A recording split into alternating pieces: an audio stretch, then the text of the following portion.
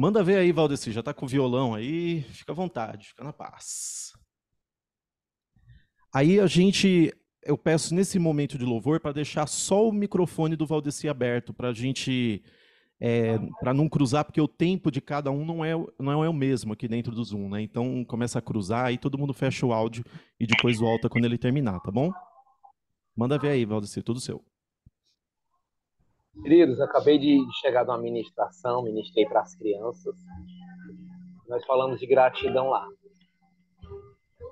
Como é bom pregar para as crianças, porque elas elas passam a ouvir com tanto amor, com tanto cuidado. Depois eu cantei essa essa canção. Gente, se, se vocês ouvirem algum barulho assim, é porque Vizinho. Falar aqui.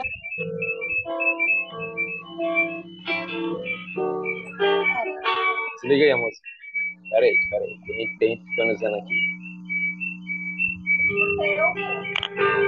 Sejas o universo. Eu quero dar-te só um pouco do meu tempo não quero dar-te um dia apenas da semana, Deus, que sejas meu universo. Não quero as minhas palavras como um gota. Quero que saia dilúvios e bênçãos da minha boca, que seja meu universo, que sejas meu universo que sejas tudo o que sinto e o que penso. Que de manhã seja o primeiro pensamento e a luz em minha janela. Que sejas meu universo, que enchas cada um dos meus pensamentos que a tua presença, o teu poder seja o alimento. Jesus, esse é o meu desejo. Que seja meu universo. Não quero dar-te só um pouco dos meus anos. Quero o dono do meu tempo e dos meus planos, e sejas meu universo. Não quero a minha vontade, quero a verdade que é Jesus. E cada sonho que há em mim, quero entregar-te. Então entrega, sejas meu universo que sejas tudo o que sinto e o que penso, Senhor. Que de manhã seja o primeiro pensamento e a luz em minha janela. Que sejas meu universo, que enchas cada um dos meus pensamentos que a tua presença, o teu poder seja um alimento. Jesus, esse é o meu desejo. Pode cantar aí, vamos lá? Que sejas meu universo. Que sejas tudo o que sinto e o que penso. E que de manhã bem cedo, e de manhã seja o primeiro pensamento. E a luz em minha janela que sejas meu universo, que enches cada um dos meus pensamentos, que a tua presença, o teu poder seja o alimento. Jesus, esse é o meu desejo, sejas meu universo, que ele seja tudo, meu. Que sejas meu universo, ele é tudo. Que sejas meu universo. Glória a Deus. Quer comentar um pouquinho da música? Tava até. Antes eu tá, tava aqui louvando, Eu estava até falando para minha esposa aqui que essa canção ela é perfeita, assim, a letra. Está dizendo aí que o Senhor Jesus ele seja o nosso universo, é maravilhoso, que enche nossos pensamentos, que o Senhor Jesus enche nosso coração, a nossa mente. E o mais lindo aí que diz que ao, ao amanhecer o dia, a primeira coisa não é pegar esse bendito celular. Amanhecer o dia, eu sei que nossa mente vai dizer: olha, tu precisa ir no banco hoje. Olha, tu precisa mandar aquele e-mail para aquele cliente.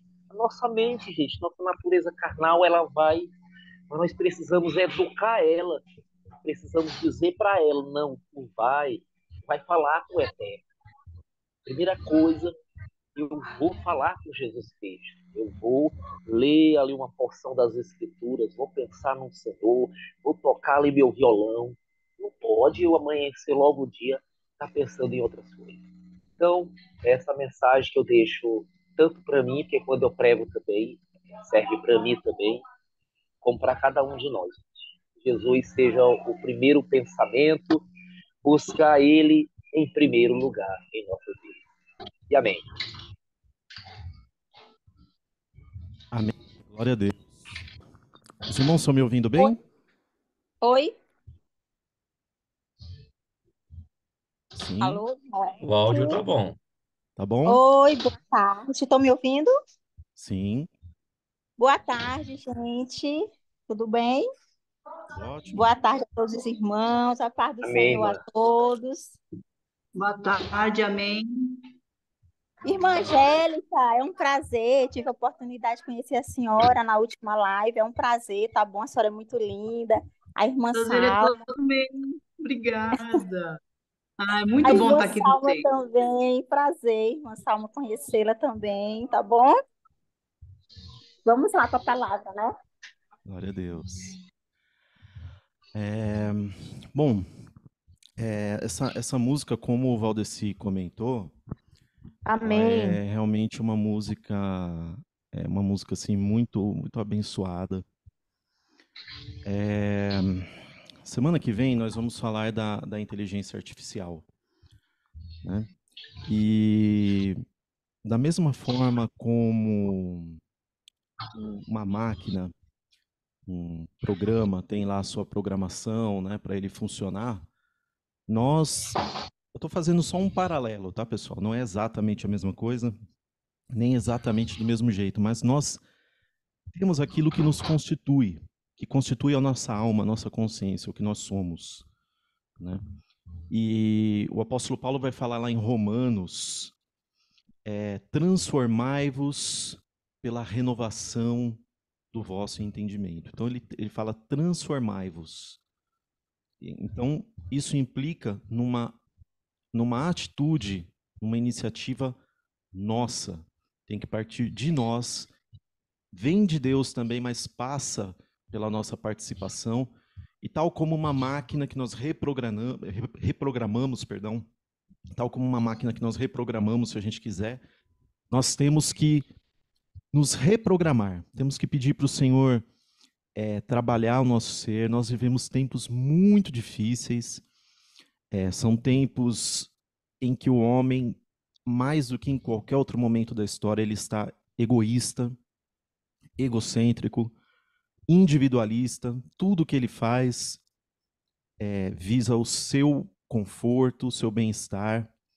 E nós somos desafiados por Deus a partir na direção contrária disso daí. O Senhor nos convida para fazer dele o seu universo. E quando nós fazemos de Deus o nosso universo, isso vai incluir quem? O nosso próximo. Nós vamos viver, nós vamos viver numa, numa relação de doação em amor a Deus, ao nosso próximo.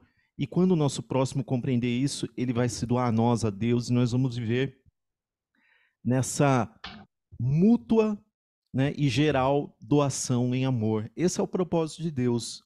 É uma nova criação totalmente radicada, totalmente convergente a Cristo, em que o amor flui. Então, isso não acontece de uma forma automática, como numa máquina você vai lá e reprograma e plim. Não. No nosso caso, Isso exige uh, um, um, processo, né? É um, é um processo, não é um ato estanque. E hoje nós vamos falar é, sobre um dos prismas dessa reprogramação. Estou pondo assim nesses termos para ficar bem claro o que eu quero dizer. Né? Mas é, é, em termos assim teológicos, seria é, a, a redenção. Então, só para a gente. Deixa eu colocar aqui a minha tela, vou compartilhar com vocês um pouquinho. Aí vocês me falam se vocês enxergam certinho. Deixa eu abrir o Word aqui meu. Um minutinho, irmãos, que eu já, já consigo fazer isso já. Vamos aqui compartilhar. Isso, maravilha. Digam aí se chegou para vocês, tá?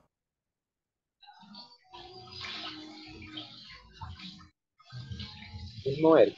Estão vendo aí? Chegou. Perfeito. Irmão Sim. Eric, Diga. é, antes, antes de você começar, que todos, todos saibam, gente, que nós podemos participar, ficar à vontade. Foi para a liberdade que Jesus Cristo nos libertou. Amém. E eu, eu estou aqui no grupo aqui do Jesus Novo e Vivo Caminho, dizendo, gente, Jesus já chegou aqui. Na live já está chamando vocês, venham. E, Amém. meu Deus, é, a gente fica É, há um. 18, 19 pessoas e poderia ter mais gente aqui, gente. Com certeza, mas cada pessoa tem o seu tempo. Nós, nós estamos, como eu disse, num mundo assim. Num mundo difícil, né, gente? Vamos, vamos falar a verdade. O, o apelo hoje é, de coisas para tomar a nossa atenção, nos distrair, é muito grande. Né? Mesmo num feriado, num domingo, as pessoas, elas são. é, o sistema caído, ele atrai, tenta atrair a nossa atenção da maior forma, né, ou melhor, da, não da maior forma, da forma mais impactante que ele possa, né? E, enfim, muitas pessoas acabam priorizando, mas vai ficar gravado, tá? Depois vocês podem compartilhar com quem vocês quiserem. E vamos lá. É, tá todo mundo vendo a, a tela aqui do meu Word, né? Sim, irmão, perfeito. Amém. Sim. Então, como o Valdecir comentou, gente, aqui não é uma palestra, tá? É, Eu não vou ficar falando e vocês só quietos. Podem participar. Levantem a mãozinha. Se por acaso eu não vir a mãozinha e ficar aqui falando, vocês podem invadir aqui e me cortar, tá? Que às vezes eu sou distraído e eu, eu deixo passar. Mas assim, só para a gente resumir, não perder muito de vista, tá bom? É, a gente. Deixa eu apagar aqui esse garrancho. A gente começou falando sobre o quê? Sobre a criação original. Né? Criação original. Falamos da queda, a primeira queda, então vou colocar aqui a queda original, que foi a queda aí do querubim caído e todos aqueles que o seguiram na sua rebelião contra Deus. Né? Depois, falamos da recriação. Recriação. Depois, nós falamos da queda do homem. Estou falando isso aqui para a gente não perder de vista, né? Queda do homem. Falamos, então, da salvação. Num primeiro momento, falamos sobre a salvação do ponto de vista judicial, que é muitas vezes chamado de justificação. Então aprendemos que a justificação, ela foi um ato da parte de Deus, partiu de Deus e ele nos justificou, ele cravou ali na cruz o escrito de dívida, anulou ele em Cristo na cruz. Então isso dependeu só de Deus, foi feito só por mim e por nós aqui, né? Não. Foi feito para toda a humanidade. Toda a humanidade é, estava em pecado, né? E toda a humanidade peca. Então, é, todos os anjos caídos ali com, com o querubim caído, Lúcifer, eles acusavam a humanidade e requeriam que a humanidade recebesse o pagamento desse salário, né? E aí Deus então ele lança sobre si mesmo isso daí e acaba com um argumento favorável ao legalismo dos anjos caídos ali contra a humanidade. Né? Isso foi feito por Deus, acabou, zerou. Para todos os seus pecados do passado, do presente, do futuro, zerou. Tá? Então, quando você for orar a Deus, não peça para Deus te perdoar pelos seus pecados. Porque, na realidade, queridos, é, nós vamos ler ali, por exemplo, em 1 Coríntios 13, que o amor tudo suporta. Então, Deus, não veja Deus assim como aquele ser é, rancoroso, que, ficou, que vê o nosso pecado do dia a dia e fala assim: ai, de novo ele está fazendo isso contra mim, como dói em mim. Não. Deus não tem, ele não acumula nada contra nós, ele não fica com uma pranchetinha escrevendo ali o que nem ficou no passado, nem fica no presente, nunca ficará escrevendo o pecado de cada um. Não. Essa dívida ela existiu devido ao, é, devido ao legalismo de Satanás e dos seus anjos caídos, né? E Cristo anulou esse escrito de dívida, acabou. Então zerou isso daí. Então, quando você for orar, você confesse não peça perdão, porque esse perdão já foi conquistado na cruz. Não da parte de Deus que ele precisasse, mas perante a parte caída da criação que requeria esse pagamento dessa dívida. Né? Então você confesse. Por que você precisa confessar? Porque Deus não sabe? Não, lógico que Deus sabe. Os olhos de Deus estão em todo lugar, a Escritura vai falar. Mas quando nós confessamos conscientemente as nossas falhas, nós caminhamos na direção de Deus, nós assumimos diante de Deus, não guardamos aquilo que estamos fazendo, assumimos diante de Deus, e isso vai nos, o quê? Vai tratando conosco, vai nos purificando. O Senhor vai dessa forma trabalhando em nós e nos ganhando. Tá bom? Então esse foi o aspecto judicial e agora nós estamos tratando do aspecto orgânico. Tá? Tem muitos termos na escritura para esse aspecto orgânico. Você pode falar de salvação, de redenção, tá? Existem várias formas ali que na escritura isso vai aparecer. Mas basicamente nós estamos falando sobre isso. E qual é esse aspecto orgânico? Agora, é, devido ao pecado, ah, existem inúmeras coisas no nosso coração, na nossa alma, que constituem a nossa consciência, né? Coisas essas contrárias a Deus. Então, é, Cristo vem, Deus ele encarna como homem, e ele vai abrir um novo caminho na consciência da humanidade por meio do Nazareno. Então, Jesus de Nazaré, ele é ali um homem, tá? E Deus está lá naquele homem. Ele é ao mesmo tempo totalmente Deus e totalmente homem. E conforme Jesus, a gente lê lá em Hebreus, que Jesus ele foi aperfeiçoado pelas coisas que sofreu. Na medida em que Jesus ele caminhava, vivia e negava a si mesmo, tomava sua cruz no seu viver diário e ia lá vencendo inimigo por inimigo de Deus ali naquela alma humana, até consumar isso, quando Cristo consumou isso, ele abriu na humanidade um caminho de uma consciência de Deus. Uma consciência. É, Jean, eu vou só é, mutar aqui, porque tá vindo uns barulhinhos aí, tá? Vou, vou te mutar rapidinho. Deixa eu ver se eu conseguir. Assim. É, então, Cristo ele abriu um caminho na consciência. Nós agora, é, nós lemos ali em Salmos que Cristo foi assunto aos céus e ele agora está pondo os seus inimigos por estrado do seu, dos seus pés. Quem são esses inimigos? Esses inimigos são esses inimigos que estão no nosso coração. É a inveja, né? é a mentira, é, é o amor a tudo aquilo que é contrário a Deus que nos afasta de Deus, que não permite que nós sejamos aquilo que Deus deseja que sejamos. E é disso que nós vamos tratar. Então, é, hoje nós vamos falar um pouquinho com base é, principalmente no Sermão do Monte. Né? Esse Sermão do Monte se encontra ali no Evangelho segundo Mateus, né?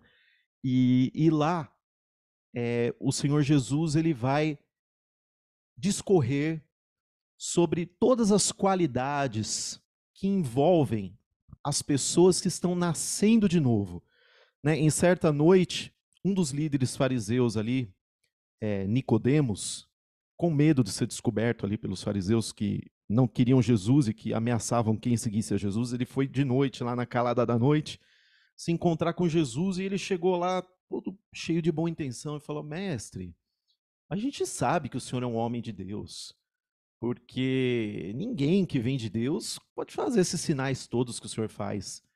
Aí Jesus ele corta totalmente o discurso de Nicodemos, ele fala: Em verdade, em verdade te digo. É como se Jesus estivesse dizendo assim: Nicodemos, vamos, parar, vamos parando com a bajulação. O que você precisa entender é o seguinte: eu não sou um mero mestre. E não basta meramente do ponto de vista racional você é, seguir um mestre. Você precisa nascer de novo. Ninguém vai entrar no céu, ninguém vai entrar, melhor dizendo, no reino dos céus, se não nascer de novo. Aí Nicodemos ouve aquilo e fala assim: Mas Senhor, olha a cabeça do cara. É uma cabeça de quem estava enraizada nas coisas, né? Queria um templo, um animal para matar, um, enfim, ele fala, mas como que vai acontecer isso, Jesus? Eu vou entrar de novo no ventre da minha mãe e vou nascer de novo? Aí Deus fala, aí Jesus fala assim, Nicodemos, pelo amor de Deus, não estou falando disso, Nicodemos. Estou falando que quem não nascer em espírito, da água e do espírito, ou seja, uma mudança dos seus algoritmos humanos, uma mudança aqui de, da sua programação humana, da sua alma, quem não, quem não destruir esse velho homem, essa consciência caída, egoísta, egocêntrica, e abraçar a consciência de Cristo, quem não fizer isso, infelizmente, não pode andar no reino dos céus. E o que é o reino dos céus? Né, tem um, tem um, certo, um certo grupo religioso, não vou entrar aqui no mérito do nome deles, mas eles veem assim o reino dos céus como um, um reino, assim, uma cidade celestial que vem lá dos céus, vem, desce e vai colocar, vai, vai, vai se instalar aqui na terra. E quem entrar nessa cidade, pronto, tá, tá lá na, na, na salvação. Né? E aí eu, eu pergunto, ora, se o problema é esse, se a gente precisa de um novo lugar, um lugar perfeito, onde não haja doença, onde não haja mentira, nem crime, nem violência, nem nada. Por que, que Deus está esperando, então? O que, que Deus está esperando para vir com essa cidade celestial e colocar logo aqui? Por que, que a gente fica passando por todas essas coisas, vendo tudo esse monte de coisas horríveis que a gente vê no mundo todos os dias? Qual é o sentido disso? Seria se Deus sádico? Ele estaria vendo o, o, o, o sofrimento da humanidade, os gemidos da igreja aqui, calma, galera, sofre mais um pouquinho aí, espera mais um pouquinho que daqui a pouco eu chego com a cidade para vocês. Não tem sentido. E aí Jesus ele vai falar, deixa eu, por enquanto eu estou falando, falando, eu já mencionei vários versículos, né? E por enquanto eu ainda não falei nada de Bíblia, mas eu vou, eu vou pedir aqui para vocês abrirem na Escritura rapidamente. Ah, aqui, ó, chegou gente aqui. Deixa eu colocar aqui é, o reino de Deus. Só um minutinho, tá, irmãos? Isso faz parte a do show. Porta, a porta da live está aberta, tá aberta, como as portas do céu também Jesus já abriu e está aberto para todos. Glória a Deus. Eu pediria que os irmãos, quem tiver a Bíblia é, em papel, aí pode abrir. Quem tiver online, acessa aí. Ah, eu não sei, Eric, onde que tá. Então digita aí bibliaonline.com.br. Tá, vai para esse site aí que você vai achar uma Bíblia online perfeitinha para você. Você pode abrir, abrir, perdão, perdão, irmãos. Você, é, vocês podem abrir em Lucas, capítulo 17, versículo 21. Versículo 20, melhor dizendo. Lucas 17, versículo 20.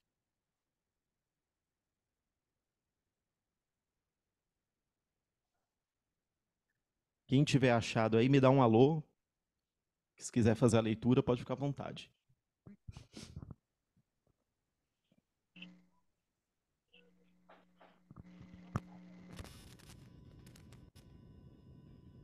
Pode ler? Pode ler, mãe, fica à vontade. Lucas 17, 20, né? Isso, e 21. Tá. A vinda do reino de Deus. Interrogado pelos fariseus sobre quando viria o reino de Deus, Jesus lhes respondeu: Não vem o reino de Deus com visível aparência, nem dirão, ei-lo aqui, ou lá está, porque o reino de Deus está dentro de vós. Perfeito. Então, gente, acho que eu não preciso nem falar muito. O reino de Deus não vem com visível aparência. Se você está esperando Deus descer aqui com uma terra novinha em folha, um mundo perfeitinho para colocar aqui, eu te digo, não é isso. Tá? Ah, mas então a gente vai viver eternamente? Sim, não. Deus vai restaurar, restaurar a terra. Mas o reino de Deus, ele é uma consciência de Deus que participa com a criação do que a criação é em essência, né? E esse reino ele está em nós, né? O próprio texto disse aí, o reino de Deus está dentro de vós, né? Tô vendo aqui algumas pessoas. Ah, tá. Boa tarde, Tiago. É, então, o reino de Deus ele está em nós. Então, o próprio Deus é o reino de Deus, a própria consciência de Deus próprio, aquilo que Deus é em essência é o reino de Deus, tato com em contato com a criação, com nós, seres dotados de inteligência, de consciência própria. Né? Então, esse reino, quando Cristo ora ali, né, que ele faz a oração, Pai nosso que estás, que estás nos céus, venha a nós o vosso reino. Significa, Deus está falando para Deus que está num lugar distante, vir não, porque senão ele entraria em choque com isso daqui. Que o reino de Deus já está dentro de nós. Mas o que que Jesus disse? Ora, se ele diz no momento que está dentro de vós, ele fala: "Venha a nós o vosso reino", significa que embora Deus esteja essencialmente dentro de nós, a consciência de Deus, ela pode ou não ser aquilo que orienta a nós como seres, a nossa alma, a nossa consciência. Então, é, a obra que Deus está fazendo, ela inicia o que? Em ganhar as consciências. Né? Jesus, é, Jesus não, perdão, o apóstolo Paulo vai falar ali, ali em Efésios capítulo 1, versículos 9 e 10. Vamos lá dar uma olhadinha nesse versículo também. Não custa nada para gente, né? Mas daqui a pouco nós vamos lá para Mateus 5, tá, pessoal? É rapidinho é, Efésios, é, capítulo 1, versículos 9 e 10. Né? Esse daí eu vou ler, tá? Só para a gente ganhar um tempinho aqui. Tá bom? Efésios 1, versículos 9 e 10 descobrindo-nos o mistério da sua vontade, segundo o seu beneplácito. Beneplácito, pessoal, é o bom prazer, é a boa vontade, é o bom prazer, que propusera em si mesmo. Qual foi essa boa vontade de Deus? De tornar a congregar em Cristo todas as coisas, na dispensação da plenitude dos tempos, tanto as que estão nos céus como as que estão na terra. Então, o trabalho que Deus está fazendo é o trabalho de fazer convergir para Cristo, ou seja, como Cristo sendo a centralidade, como se fosse o planeta Saturno ali, né? Você tem o, o anel ali, né, ao redor de Saturno, está ali ao redor de Saturno. Então, Cristo núcleo e toda a criação, todos os seres com consciência de si mesmo, inclusive a humanidade, inclusive e principalmente a humanidade, convergindo ali ao redor de Cristo. Então, Deus ele está agora ganhando as, as consciências dos homens, né? Certamente há homens que se recusam, né, a isso daí. é, que, que se rebelam, né? A, a, níveis, né? Acho que eu já falei em, em vídeos anteriores, mas há níveis de afastamento, né? O nível que Lúcifer e os anjos rebelados, bem como outros homens, ali como Nimrod, né, alcançaram é, de afastamento do Pai é a rebelião contra Deus. É aquilo que Cristo vai chamar ali é, e que os apóstolos também vão chamar no Novo Testamento de pecado contra o Espírito Santo, que não se trata de pode ser um tema em que a gente mergulhe mais para frente, mas falando em, em breves palavras, é o que é uma é um estado de alma, de consciência, de rebelião. Quando os judeus ali é, diante de Cristo, após verem toda aquela maravilhosa obra de Cristo, o próprio Deus na frente deles, curando, ressuscitando pessoas, eles atribuem isso a Beuzebu, a Satanás, eles então atingem o nível, o nível máximo de afastamento contra Deus, que é a rebelião. Tá? Quando o homem chega nesse estágio, ele, infelizmente, não por Deus, que Deus não quer mais, rejeita esse ser, não. Deus sempre estende a sua mão de misericórdia, mas por limitação desse ser, esse ser que se rebela contra Deus, ele se coloca numa posição, infelizmente, de não poder mais voltar. Ele não pode mais ser aproveitado para arrependimento. Mas aos demais, e particularmente a nós, né, é, membros do corpo de Cristo que estamos aqui, Deus está trabalhando nesse sentido de fazer o reino vir a nós, ou seja, a consciência de Deus ser implantada em nós. E é sobre isso que a gente vai falar com detalhes. Então eu vou pedir para alguém ler para mim é Mateus capítulo 5, versículos 1 até 9. Desculpa, 1 até 10. Mateus 5, 1 a 10. Pode incluir o 11 também, que é a mesma coisa.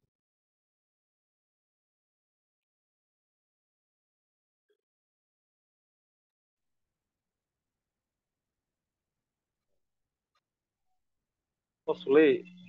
Fica à vontade. Mateus capítulo 5, a partir do versículo 1. Isso. Gente, eu, eu acredito que às vezes tem gente que fica com dúvida, irmão Eric. Assim, ah, o irmão Eric falou, mas eu tô com alguma dúvida e tal. Vocês, no, toma nota. Toma nota e vai ter uma oportunidade para vocês fazerem a, as perguntas.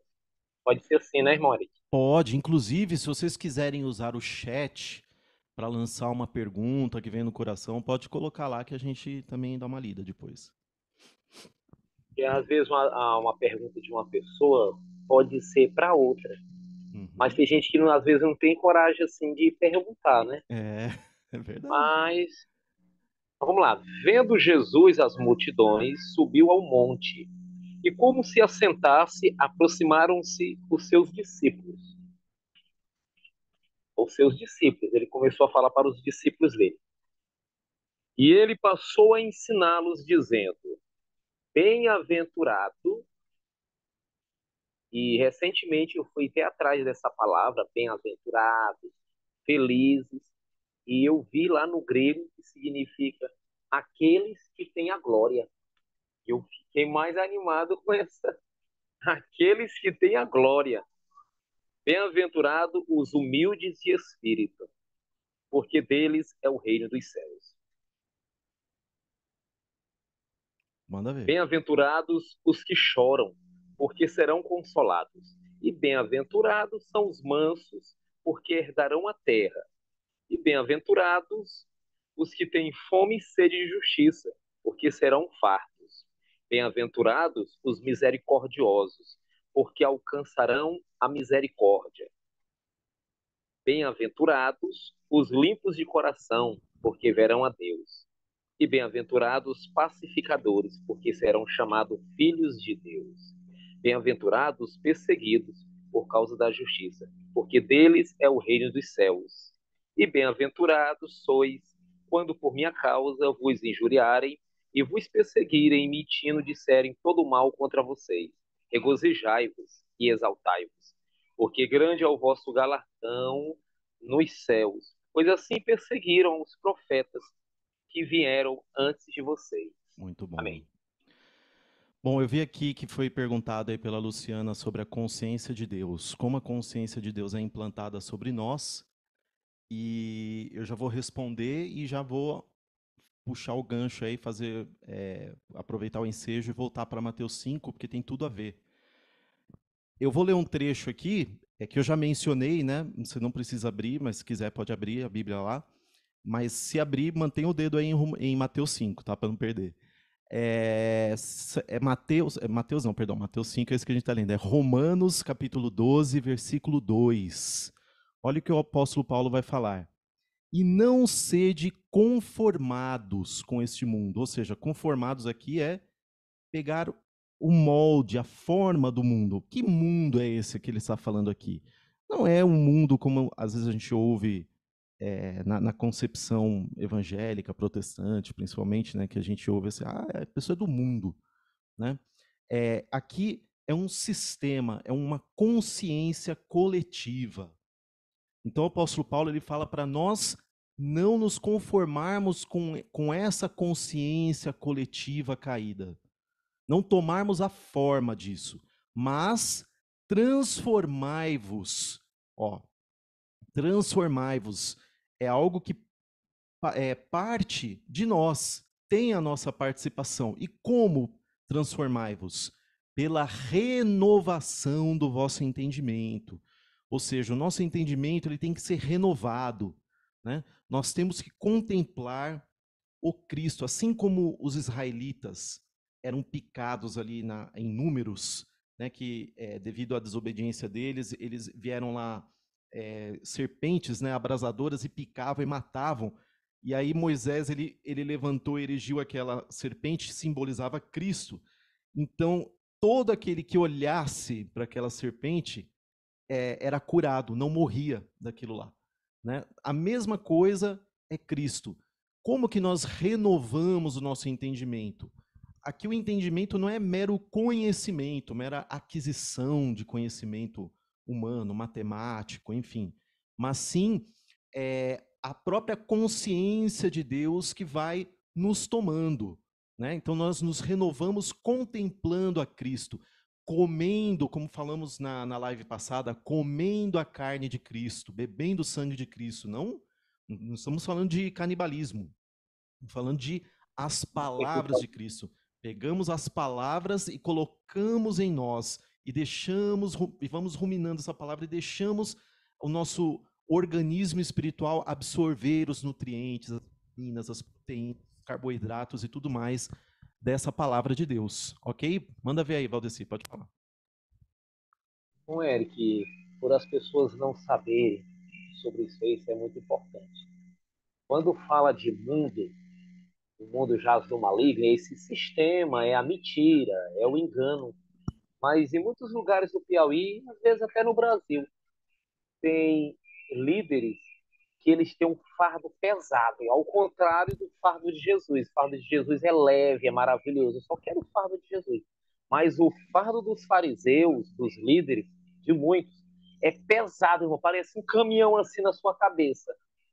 A ponto de você chegar, pessoas falar: olha, a gente deseja jogar um futebol não é apostado não, e nem apostando em bebida não, é só um futebol mesmo com amizade aqui. Mas os líderes falaram para eles, vocês não podem jogar esse futebol e nem tomar banho de piscina. Ai, Jesus. Aí, misericórdia, que fardo pesado, as duas coisas boas do mundo, irmão, jogar um futebol, suar, rir com os irmãos, pular depois do gol e depois tomar um banho de piscina. Mas para eles, tudo é pecado. Então, essa palavra que está entregando aí é maravilhoso para a gente saber o que contamina e o que não contamina. Isso é muito importante. Prossiga. Obrigado.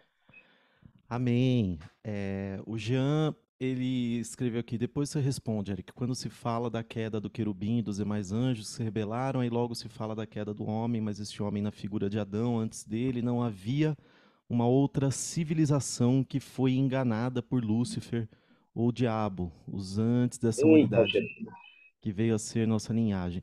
É, é esse é, é um assunto assim. Essa questão aí da, da queda original, já é, a gente não vai entrar muito nesse mérito aqui, por quê? Porque é um assunto grande, assim, extenso, e a gente já tratou um pouquinho. Quem tiver assim um pouco mais de curiosidade de saber disso daí, é, lá no, no, meu canal no YouTube, juntamente com as lives né, que eu vou colocando lá, é, eu tenho um vídeo em que eu trato um pouquinho mais a respeito dessa queda original. Né? É, mas, basicamente, esse pecado que aconteceu lá foi o quê?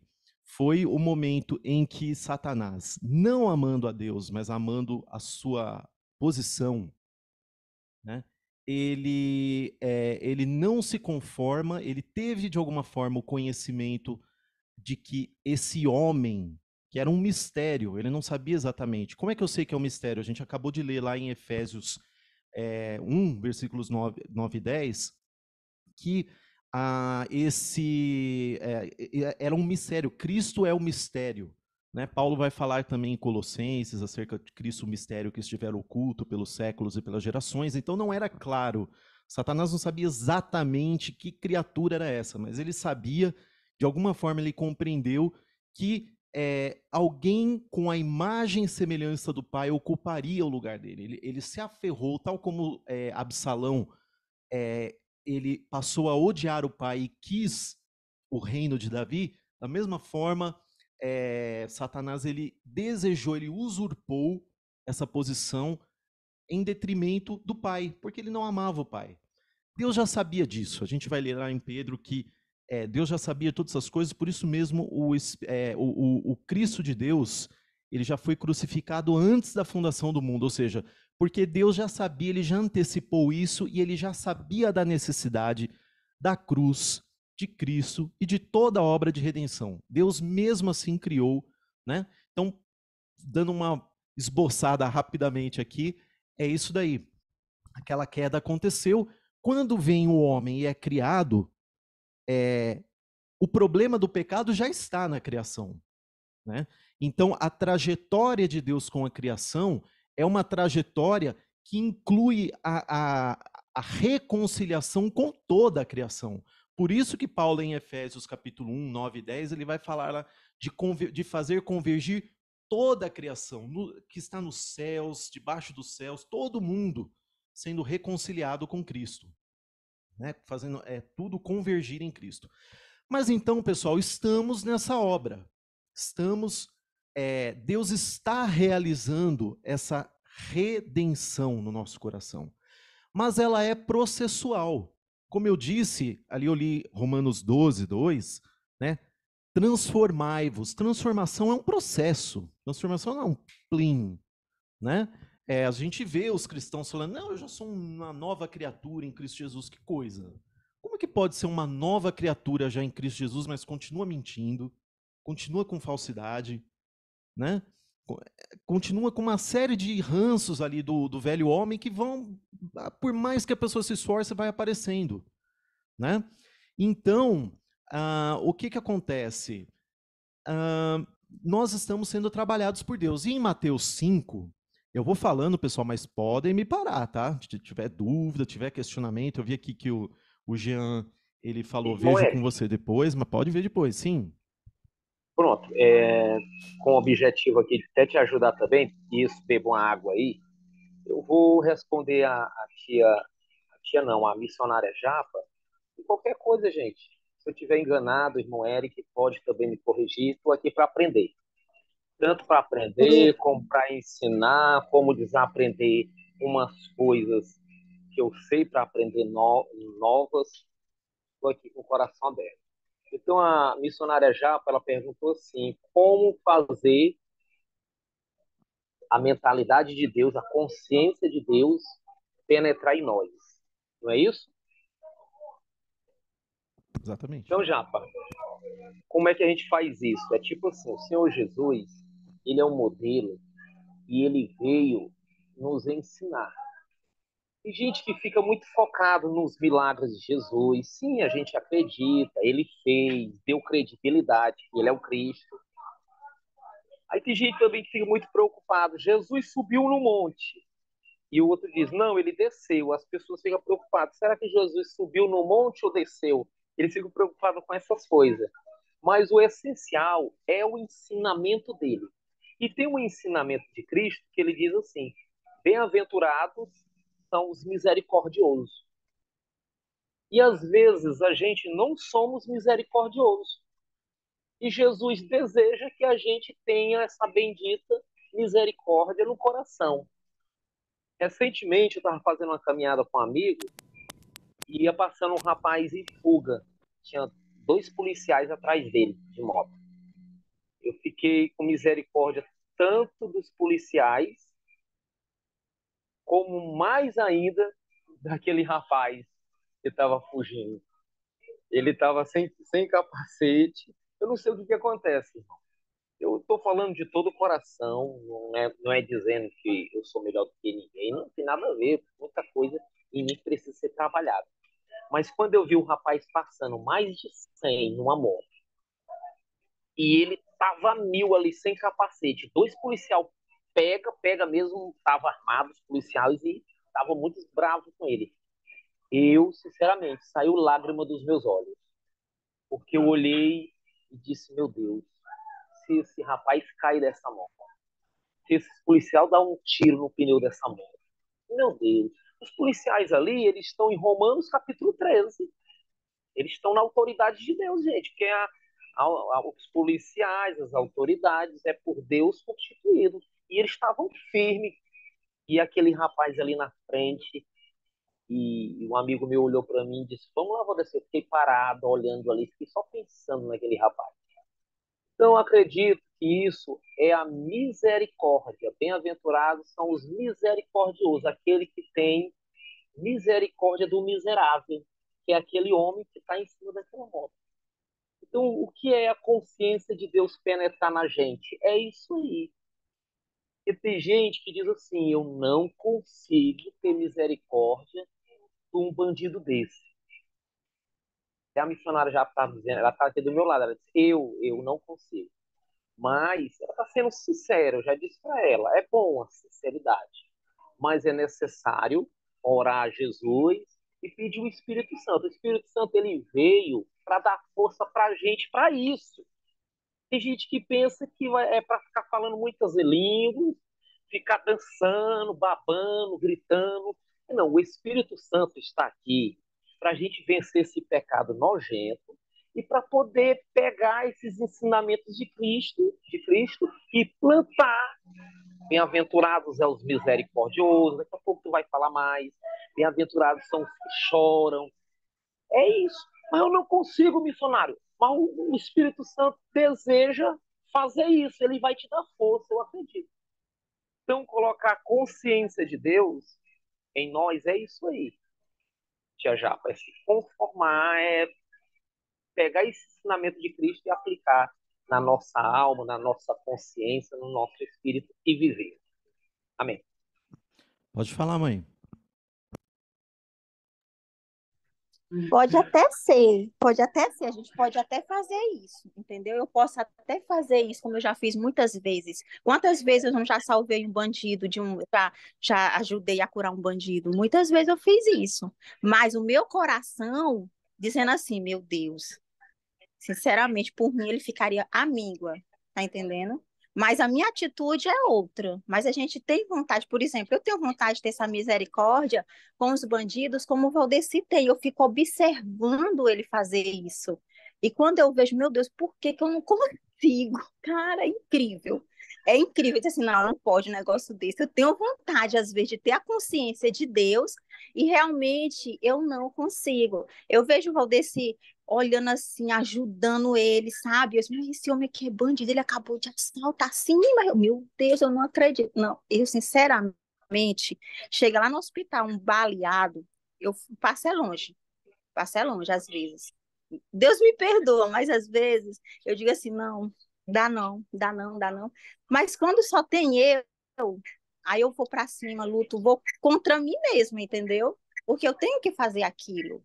Mas é difícil, é difícil assim, porque eu oro para Deus, eu peço, Senhor, me ajude em relação a isso, porque o Valdeci tem vontade de ir para o presídio pregar, e eu não quero que ele vá, entendeu? Eu tenho medo. E eu fico nessa luta. Tá entendendo? É por isso que quando o irmão Eric falou em relação a colocar a consciência de Deus em você, eu queria saber, depende de mim ou o Senhor é que coloca? Esse amor depende de, de, de eu amar ou é Deus que coloca esse amor no meu coração? Tá entendendo? Irmão, irmão Eric, permita, permita só. Mãe, mãe, segura só um pouquinho aí, tá? Pode, pode falar. Vou só, só concluir aqui, gente. Lembrando que quando o rapaz de moto ele estava passando, as pessoas estavam dizendo para os policiais assim: pega e mata. É, pegou e mete fogo nele e mata, né? Eu, e eu fico, rapaz, não precisa disso, não faça isso, não faça isso. E isso, com esse pensamento que Jesus colocou na minha mente, no meu coração, eu entro dentro dos presídios, aí uma pessoa pode ser o maior criminoso do mundo. Ele chega assim perto de mim, ele olha nos olhos, ele olha para mim, eu olho nos olhos dele, ele pega e diz assim: "E aí, qual é? Para que tu veio aqui?" Eu digo assim: "Eu vim aqui porque eu te amo." Eu falo assim, e ele se desmonta todo, entendeu, irmão? Ele não sabe para onde ele vai. Ele vai para a direita, para a esquerda, e ele fica: "Como é que pode? Tu vem aqui, que é isso aí? Isso é um cavaquinho, eu vou tocar para vocês. Tem um lanche, nós vamos jogar um futebol. Hoje tu vai ser amado aqui, hoje tu vai. E ele às vezes estava com ódio ali, às vezes querendo fazer o mal, mas quando ele vê isso, ele se desmonta todo, porque não, não tem nada que é maior do que o amor do Senhor Jesus. Glória a Deus. Depois eu vou comentar, mas pode falar, mãe, por favor. É, tá me ouvindo? Tô. Amém. Eu, eu, eu fiquei também bastante intrigada com a, com a pergunta dela, né? A consciência, sobre a consciência de Deus ser implantada em nós. É, a Bíblia fala que nós temos que ter a mente de Cristo, né? Mas a gente não pode esquecer, nunca esquecer, do papel do Espírito Santo aqui. Quando Jesus ele subiu ao Pai, ele falou assim: Eu não vou deixar vocês órfãos. Eu vou enviar o Consolador, o meu Espírito. E é Ele que nos capacita para reconhecermos as nossas debilidades, as nossas falhas, as nossas fraquezas, né? Aonde eu não consigo alcançar o objetivo de Deus, é Ele que vai nos capacitar, né? Eu vejo, por exemplo, eh, vou dar um exemplo assim, pelo menos acontece comigo, o perdão. O perdão, ah, às vezes a pessoa fala de perdão de uma forma banal, mas dependendo do que aconteceu com você, é muito difícil você exercitar o perdão. E só o Espírito Santo pode te capacitar para isso. E abrir a sua mente e fazer você entender, olhar realmente o que aconteceu pela ótica de Deus, sabe? E, e- e- o Espírito Santo ele te capacita para você entender e para você perdoar, realmente perdoar de coração, né? Então eu acho que a- ter a consciência de Deus, a mente de Cristo é de forma gradativa. Uma porque nós somos seres humanos falhos, né? Tem que ser de forma gradativa, mas somente o, o trabalhar do Espírito Santo pode concretizar isso na nossa vida. É o que eu penso. Amém. Ah, eu só arrematando um pouco aí o que foi colocado. Na verdade, esse assunto a gente já tinha conversado, né, assim, em algum outro momento, eu não lembro exatamente quando que foi, mas a questão, Luciana, é que assim, sim, isso passa por nós, isso não é algo que Deus vai, vai fazer um abracadabra, porque se fosse simples, Deus já estava fazendo, né? Mas a, a obra de Deus, ela, ela é o quê? Ela é nos moldar, é uma troca de valores dentro de nós, lá na raiz de onde sai esse valor na nossa alma, né? E isso passa pela nossa disposição de alma de fazer, né? Se, se nós não nos abrirmos e não desejarmos que a palavra de Cristo, as palavras de Cristo tomem a nós e façam parte da- de nós, do que nós somos feitos, não vai mudar nunca. Isso eu posso te garantir, né? E, particularmente, muitos cristãos, vai ser muito, muita gente, tá? Eles vão ser disciplinados no reino milenar, não vão gozar ali do, do milênio com Cristo, por quê? Porque eles não, não conseguiram atingir isso. Eles vão precisar ser mais trabalhados para conseguir absorverem essas coisas, né? E eu lembro aí do que eu falei na, no, na, na live passada, lá em Lucas, é, Lucas não, perdão, João capítulo 6, ali perto do versículo 48 para frente, Jesus fala: Eu sou o pão da vida. Aí Jesus segue falando assim: ah, Quem come a minha carne e bebe o meu sangue tem a vida eterna. Tem a vida eterna. Então, o que Cristo está falando aqui? Lógico, ele não está falando da carne dele, do sangue. Os caras pensaram isso. Pô, mas agora o cara está mandando a gente dar uma dentada no, no joelho de Jesus ali? Não. Ele mesmo vai chegar, eles murmurando, eles falaram assim: o espírito é o que vivifica, Jesus fala para eles. A carne para nada aproveita. Ou seja, gente, não é a minha carne que vai provocar essa mudança, que vai trazer o reino de Deus, a consciência divina para dentro de vocês. Não. São as palavras que eu vos digo que são espírito e vida. Versículo 63 de João 6. Né? Então, quando nós, tal como quando a gente se alimenta, a gente vai lá, põe uma carne aqui pela, pela goela, desce, cai no nosso estômago, o ácido clorídrico lá, ele vai, é, o ácido sulfúrico, perdão, ele vai lá dissolver aquele negócio e, e vai, é, os, os, nutrientes vão ali penetrar, vão cair na, na, na no, no fluxo sanguíneo e vai tudo para o nosso corpo. Da mesma forma, as palavras de Cristo, elas têm que ser o quê? Comidas, processadas, absorvidas. É um, é um processo isso daí. Só que você, se você decidir não comer, o que, que vai acontecer com você? Você morre. Entendeu? Da mesma forma, se você não tomar a iniciativa de pôr a comida na tua boca e comer, você não vai ganhar esses nutrientes.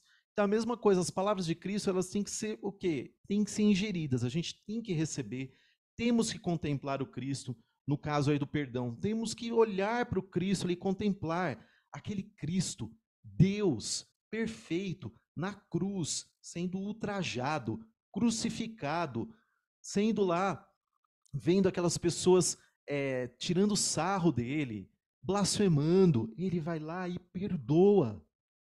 Fala assim: Pai, perdoa porque eles não sabem o que fazem. Por acaso eles não sabiam o que eles estavam fazendo? É lógico que eles sabiam que estavam lá matando uma pessoa mas eles não tinham noção de, do quão errado, quão contrário à vida eles estavam indo. Eles estavam totalmente ali cauterizados na consciência deles.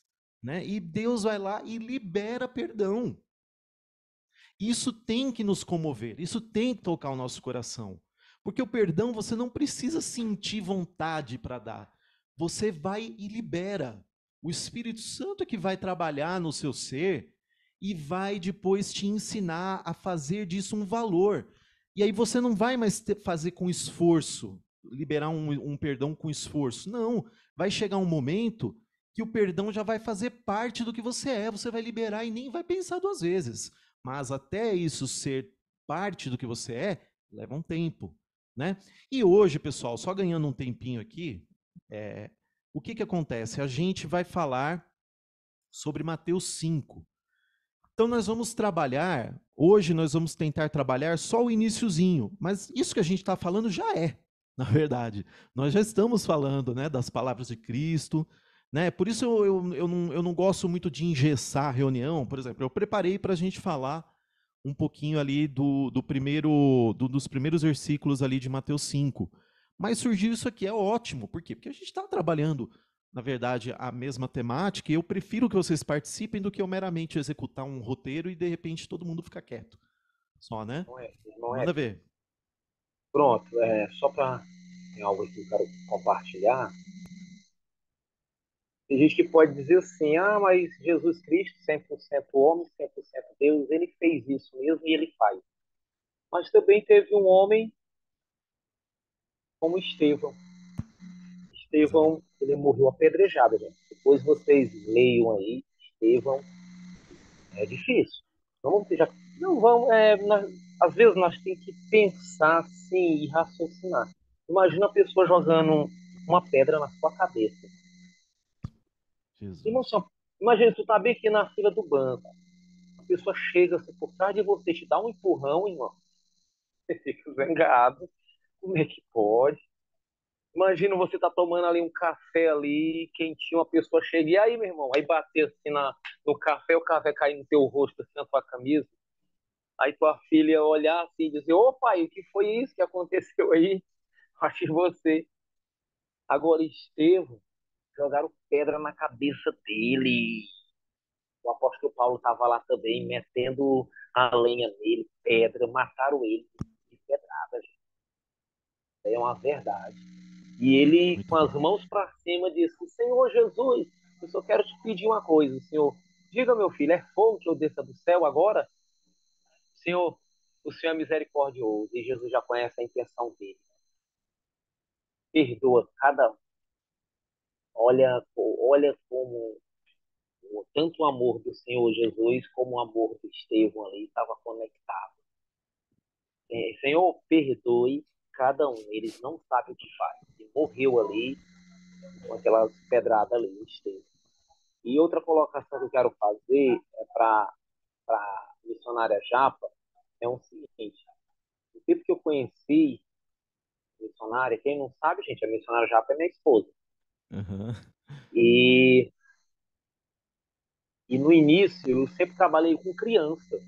Trabalhava com criança. Mas eu conheci ela ainda jovem ainda. E ela ficava onde ia comigo, ela, onde ela via gato, ela pegava os gatos e colocava assim no peito e começava a ficar beijando o gato. Beijava que os cabelos ficavam na, na boca dela. E eu, ah, Jesus, misericórdia.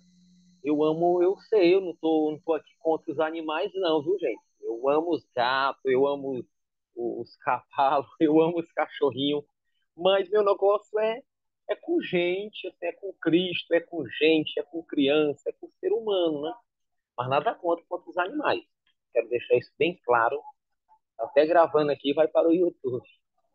Mas ela ficava assim, beijando e tal. E eu digo, eita Jesus, muda o coração da, da, da minha esposa, porque não pode, aonde eu vou. Um dia nós estávamos andando assim, ela olhou para a parede e disse assim, e estava assim escrito, é, Pax para gato. Ela disse, eita, ainda bem, ainda bem que chegou já os nossos táxis, os nossos gatinhos, os nossos cachorros. Aí, meu irmão, fiquei, eu fiquei de um jeito, misericórdia, Senhor, me ajuda, como é que essa mulher vai sair aí comigo para pregar para essas crianças? Ela tem que amar as crianças e tal. Mas agora, gente, com o tempo, pronto, ela ama as crianças, e aonde ela vê criança, ela tá passando a mão na cabeça da criança, beijando. E ela, como enfermeira também, ela até tirou uma foto aí cuidando de uma criança. E eu fiquei. Até onde eu tava olhando para essa foto, ela não sabe, ela tá sabendo agora, viu? I love you. E eu tava olhando pra fotinho dela e ela ali perto da criança, olhando o coração da criança. E isso eu fico feliz. Eu quero dizer para ela que a mudança já tá, já tá ocorrendo santidade significa mudança, é santidade. Nós estamos em processo de santidade. Por isso que a pessoa não pode dizer assim: eu já tenho um passaporte, já vou para o céu, já estou com meu passaporte aqui. Aí não é misericordioso, é ruim, é malvado, e dizendo: está aqui meu passaporte, eu vou, eu vou. E para concluir esse raciocínio, um dia uma mulher chegou para mim e disse assim: era Valdecir, eu não sei o que aconteceu com meu pai. O que foi? todos os dias está indo para a igreja. Todo dia ele vai lá para a igreja. Mas um dia caiu uma pipa no quintal da casa lá, nossa casa, e um menino pulou o muro para pegar essa pipa. Ele disse que ia quebrar a cabeça do menino. E eu não entendo como é que ele está indo para a igreja e quer quebrar a cabeça da criança. Eu digo, filha, é porque ele precisa entrar nesse processo aí de santificação, deixar Jesus trabalhar na consciência dele para mudar o coração dele. Amém. Obrigado, irmão, pela oportunidade. Glória a Deus. Não, tá ótimo. Irmão, irmão Eric, daqui a pouco o senhor vai falar, só um instante. É o seguinte, aconteceu agora, mês passado, agora, mês passado, né? E isso, aconteceu um fato comigo muito interessante. Tipo assim, chegou um bandido baleado no hospital, e aí os policiais chegaram, chegaram na minha sala, ok? Acabou de matar um pai de família. Aí eu corri para ajudar ele, né? Limpar o ferimento, ajeitar a bala, aquela coisa toda. E o que foi que aconteceu? Você vai cuidar dele, eu já tô é cuidando. E o policial, você vai cuidar dele, já tô é cuidando. Aí ele disse assim: Você ouviu o que eu disse? Ouvi. Ele acabou de matar um pai de família. Sim, sim, daí? Eu vou cuidar dele. Você não trouxe para o hospital? Pois aqui eu vou é cuidar dele. Aí eu fechei, saí da minha sala, fechei a porta e cuidei do bandido. Entendeu? Tipo assim, eu faço a minha parte. Eu faço. É, cuidei dele, não que não queria que ele morresse de jeito nenhum, mas dentro de mim eu fiquei assim, eu não gosto, sabe? Eu não tenho misericórdia. Mas, então, eu... mas gente, deixa eu, deixa eu falar um pouquinho aqui rapidinho. É, a questão aí, eu vou fazer um contraponto com isso que a Luciana falou, com a questão da, da ceia do Senhor. O, o termo correto é partir do pão, porque a ceia é outra coisa. Mas, enfim, eu lembro que eu ia para Batista, minha mãe vai lembrar disso aí. Ia para Batista lá, né? Tinha lá a ceia. E, e aí o que acontece? Era um, um, corre-corre lá, por quê? Porque as pessoas é, elas imaginavam que se elas tivessem de qualquer jeito, com algum pecado na cabeça delas, é, ela, elas tinham que resolver isso aí. E muitas vezes, muitas vezes, isso envolvia diferenças com pessoas ali mesmo que estavam lá. Então, você via na ceia as pessoas levantarem, ir lá e pedir perdão para outra, entendeu? Aí eu te falo assim, será que essas pessoas entenderam isso aí, as que faziam isso lá? Porque o que movia essas pessoas era o medo, era duas coisas. Vergonha de todo mundo que sabia que ela já tinha sido batizada, como se isso fosse um, um pré-requisito né, para poder participar ali do, do Partido Pão, mas vergonha das pessoas que poderiam vê-la lá sentada, sabendo que ela deveria estar levantando. Então, para não passar esse vexame, elas venciam né, o orgulho e iam lá e pediam perdão para outra, por exemplo. Mas também tinha aquelas pessoas que tinham medo de perder a salvação, alguma coisa, porque não estavam participando lá do, do Partido Pão, lá, e levantava e a contragosto ia lá. E aí você via aquela pessoa novamente, na outra ceia, um mês depois, fazendo aquilo, fazendo aquilo. E as pessoas não mudavam. Mais ou menos isso que a Luciana está fazendo, está tá falando agora. Ah, eu, eu ia lá e fazia minha parte, mas não é isso que Jesus deseja. Que, é, não é nesse estágio que Jesus deseja que nós chegamos pura e simplesmente. Que nós cheguemos, perdão, pura e simplesmente.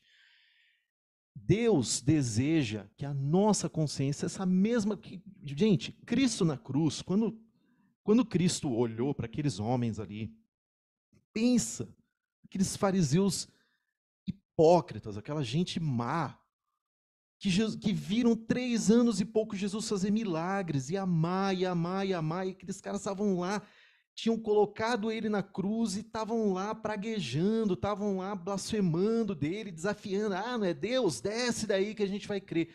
Aí você vê Jesus falando assim: Pai, perdoa. Você acha que Jesus fez isso só porque, olha, Jesus, é, imagina Jesus lá. Como eu sei que isso vai ficar registrado na cruz, eu vou fazer aqui que é para ninguém poder falar depois que eu não falei. Você acha que foi isso que motivou Jesus? Não, querido. O que motivou Jesus ali foi o puro amor. Isso é uma consciência totalmente ganha pelo Pai. A mesma coisa Estevão, muito bem citado pelo Valdeci. Você acha que foi que Estevão tomando uma pedrada? Gente, imagine essa cena, um monte de homens jogando pedra num ser humano. Mataram ele a pedrada. Você imagina que o que motivou Estevão foi simplesmente, ai, Senhor, para eu não correr o risco de não ir para o céu, eu vou pedir aqui perdão. Você acha que foi isso que motivou Estevão? Não. Foi um coração totalmente ganho. É um coração que ama. O amor, o amor, Deus é amor, né? A Escritura vai falar. O amor, ele é pura entrega, ele se doa, ele não está se importando se ele vai receber de volta. O amor é pura doação, ele se entrega. E isso é totalmente o contrário da nossa consciência. Nós temos uma consciência desenvolvida, construída nesses moldes do mundo, nesses moldes desse sistema caído, ou seja, é, o Valdeci deu o exemplo lá, você tomou um empurrão, você vai olhar para o cara assim, ó, que é isso? Que negócio é esse? Mas Deus ele deseja nos reprogramar, gente, é uma reprogramação. Você vai passar a amar, você vai passar a devolver o mal com o bem. Isso daí não é um, uma, sei lá, uma, uma burca que você põe no, na pessoa lá e a pessoa. Não, gente. Isso é começa aqui dentro. Deixa eu ver aqui que tem três comentários. É, é, por isso que devemos, por nossa fé, a fidelidade na pessoa do homem Jesus. Exatamente. Né? Nós temos que ansiar por isso. Isso começa por um anseio. Senhor, eu quero ver isso. Eu não quero mais ser esse homem que fica ofendido com o mal que recebeu. Que fica ali, quando tomou uma palavra dura de alguém, fica ruminando aquilo lá, indigesto, aquele negócio por dias. Não. Eu quero perdoar, eu quero amar, eu quero olhar para a pessoa que está fazendo lá aquilo contra mim e lembrar que essa pessoa, ela, ela pode ser uma pessoa também totalmente ganha por ti. No momento ela está escrava do pecado, ela precisa da minha, da minha compaixão, não precisa do meu ódio. É isso que tem que motivar a gente. Isso é um amor, é um nível de amor grande. Né? E a gente vai então falar, eu não sei quanto tempo eu vou ter para falar disso, mas a gente vai falar sobre um outro aspecto agora desse reino dos céus, porque tudo isso é o reino dos céus vindo a nós, como Cristo orou lá. Venha a nós o vosso reino. Ou seja, é a própria consciência de Deus vindo a nós, expulsando a nossa e tomando a, no, a nós por completo. Né? Isso é maravilhoso, gente. Salvação é a somatória dessas duas coisas. Rapidinho, Valdeci. É, é o judicial que Cristo já fez, como eu falei no início, está feito e é esse orgânico. Esse orgânico é o que há de mais importante. É grande, não é coisa pequena, não. Eu, quando eu era é, evangélico, eu, eu lembrava, eu, eu pensava muito assim, ah, eu abri minha boca, falei que aceito a Jesus, eu estou no céu, o resto Deus vai fazer. Eu olhava uma pessoa falando assim de amor, de bondade, de perdão, essas coisas, eu falava assim, ah, mas se ele não abriu a boca e aceitou Jesus num, num apelo, ele não vai para o céu. Gente do céu, isso é um engano tremendo. Manda ver aí, Valdeci, pode falar. Não, não fica chato comigo não, gente. Alguém pode dizer assim, ó, o missionário Valdeci está atrapalhando o irmão Eric. Não, dá todo mundo unido aqui. Eu já falei pro irmão Eric, irmão Eric, eu vou falar também, você fala, não só eu, todos podem falar, a gente quer, a gente não quer só que uma pessoa fique pregando e a gente só ouvindo, não, a gente quer participar. E essa questão de amar tem que passar pelo nosso entendimento. O que aconteceu na minha vida? Eu estava lendo Romanos. E eu vi o apóstolo Paulo escrevendo, dizendo assim: Vou descer, todos pecaram e afastados estão da glória de Deus. Maria, José, Paulo, todos. O único que não pecou foi Jesus Cristo. Esse negócio é pesado. Aí eu lendo mais, ele pega e explica lá em Romanos, depois você pode ler, ele diz: olha, a lei foi dada. Deus, o Senhor, já sabia que aquele povo de Israel não ia obedecer. Eles batiam no peito e diziam para Moisés, dizendo: Nós vamos cumprir, nós vamos obedecer. E Deus estava assim: Pai, nada, não vou não. Você não vai dar conta disso aí, não. Toma aí, dá conta. E eles não deram conta coisa nenhuma. Eles pecaram, mas sempre batendo no peito, dizendo que ia conseguir. Então a lei foi dada para a gente olhar para nós e dizer assim: ah, rapaz, eu sou um depravado mesmo. Aí Deus diz: o que, meu filho? Eu sou um depravado mesmo, Deus. Eu estou com a natureza mesmo perversa.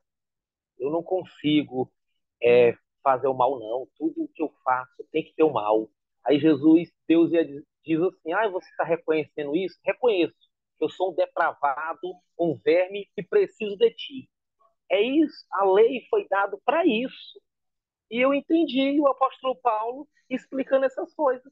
E quando eu ouvi, eu disse: Ah, meu amigo, Então eu vou sair, eu vou sair por aí é perdoando é todo mundo, porque todo mundo já estava morto, depravado, afastado de Deus, e o Senhor veio e deu uma oportunidade. Para que que eu vou dizer que eu sou melhor do que o outro? Então tá todo mundo já ia, todo mundo condenado. Jesus deu essa oportunidade. Então quando eu pode ser bandido, ladrão, qualquer um, tem que ter aquela misericórdia, aquele perdão. Que Jesus não veio condenar, ele veio salvar. Ele não veio para os doentes, para os saudáveis. Ele veio para os doentes. Então, quanto mais a pessoa está doente, como Hitler, Osama Bin Laden, mais já morreram, né? Mas quanto mais a pessoa está doente, mais eu vou dizer: olha, Jesus, chegou o Osama aqui do Afeganistão, chegou aqui uns aqui do, do, do Estado Islâmico, todos esses, Jesus está precisando de vocês. Urgência aqui, gente, urgência. É isso, para é isso que Jesus. Amém. Glória a Deus. Eu vou mudar um pouco a minha estratégia, pessoal, porque assim, se eu for para Mateus 5 hoje, não vai rolar, não vai dar tempo de eu falar o que eu, o que eu ia falar. Então eu vou aproveitar um ensejo do que a gente falou que está relacionado, porque nós estamos falando, né, da, da, do aspecto orgânico da salvação, a redenção que Deus está operando em nós. E eu vou é, mencionar aqui alguns versículos que vão complementar o que a gente está falando. Né? Primeiro versículo que eu gostaria de chamar a atenção dos irmãos aí para ler, é, seria está aqui em Filipenses, não, Filipenses não, perdão. É Filipenses não, Colossenses 3, versículo 12 e 13.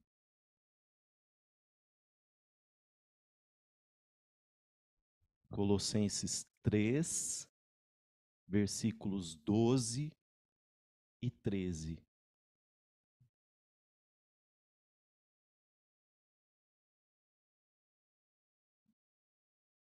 Quem quiser ler, fica à vontade.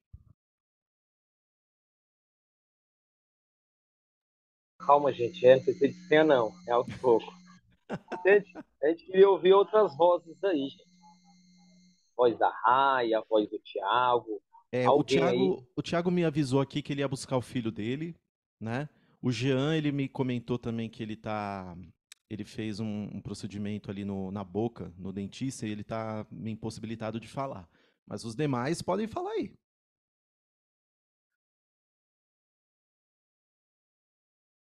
Quem lê aí para mim? Colossenses 3, versículos 12 e 13.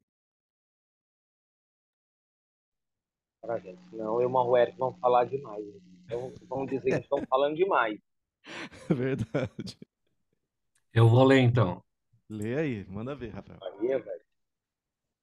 É, versículos 12 e 13, né? Isso.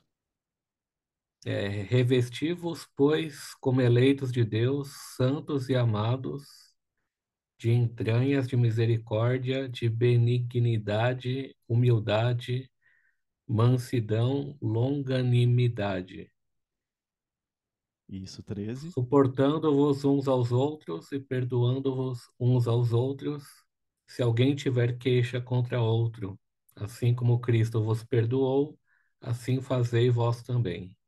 Amém. Amém. Então, novamente, a gente vê aqui o apóstolo Paulo utilizando um imperativo, revestivos. Né? É, ou seja, mais uma vez, passa por nós, tem que vir de nós. Isso daí, né? Você vai, é como eu falei ali, é, fazendo o contraponto com o trecho ali de João 6, você vai comendo, né? Vai comendo, vai se alimentando, e isso vai te transformando, suportando-vos uns aos outros. Gostei muito do que o Valdeci falou agora há pouco, que é um processo, tudo isso, pessoal, é um processo que passa pela nossa inteligência não espere que Deus vai chegar, te, te dar um tremelique lá, vai vir um anjo com uma tocha, vai queimar a ponta da sua língua lá. Não vai, não, gente, não é assim que acontece. Isso aí passa por nós. Porque se fosse, se dependesse de um anjo dar um choque na gente, alguma coisa assim, Deus dava choque em todo mundo e estava tudo resolvido já. Mas não é. Né? Então, isso passa pelo nosso arbítrio. Não passa por outro caminho.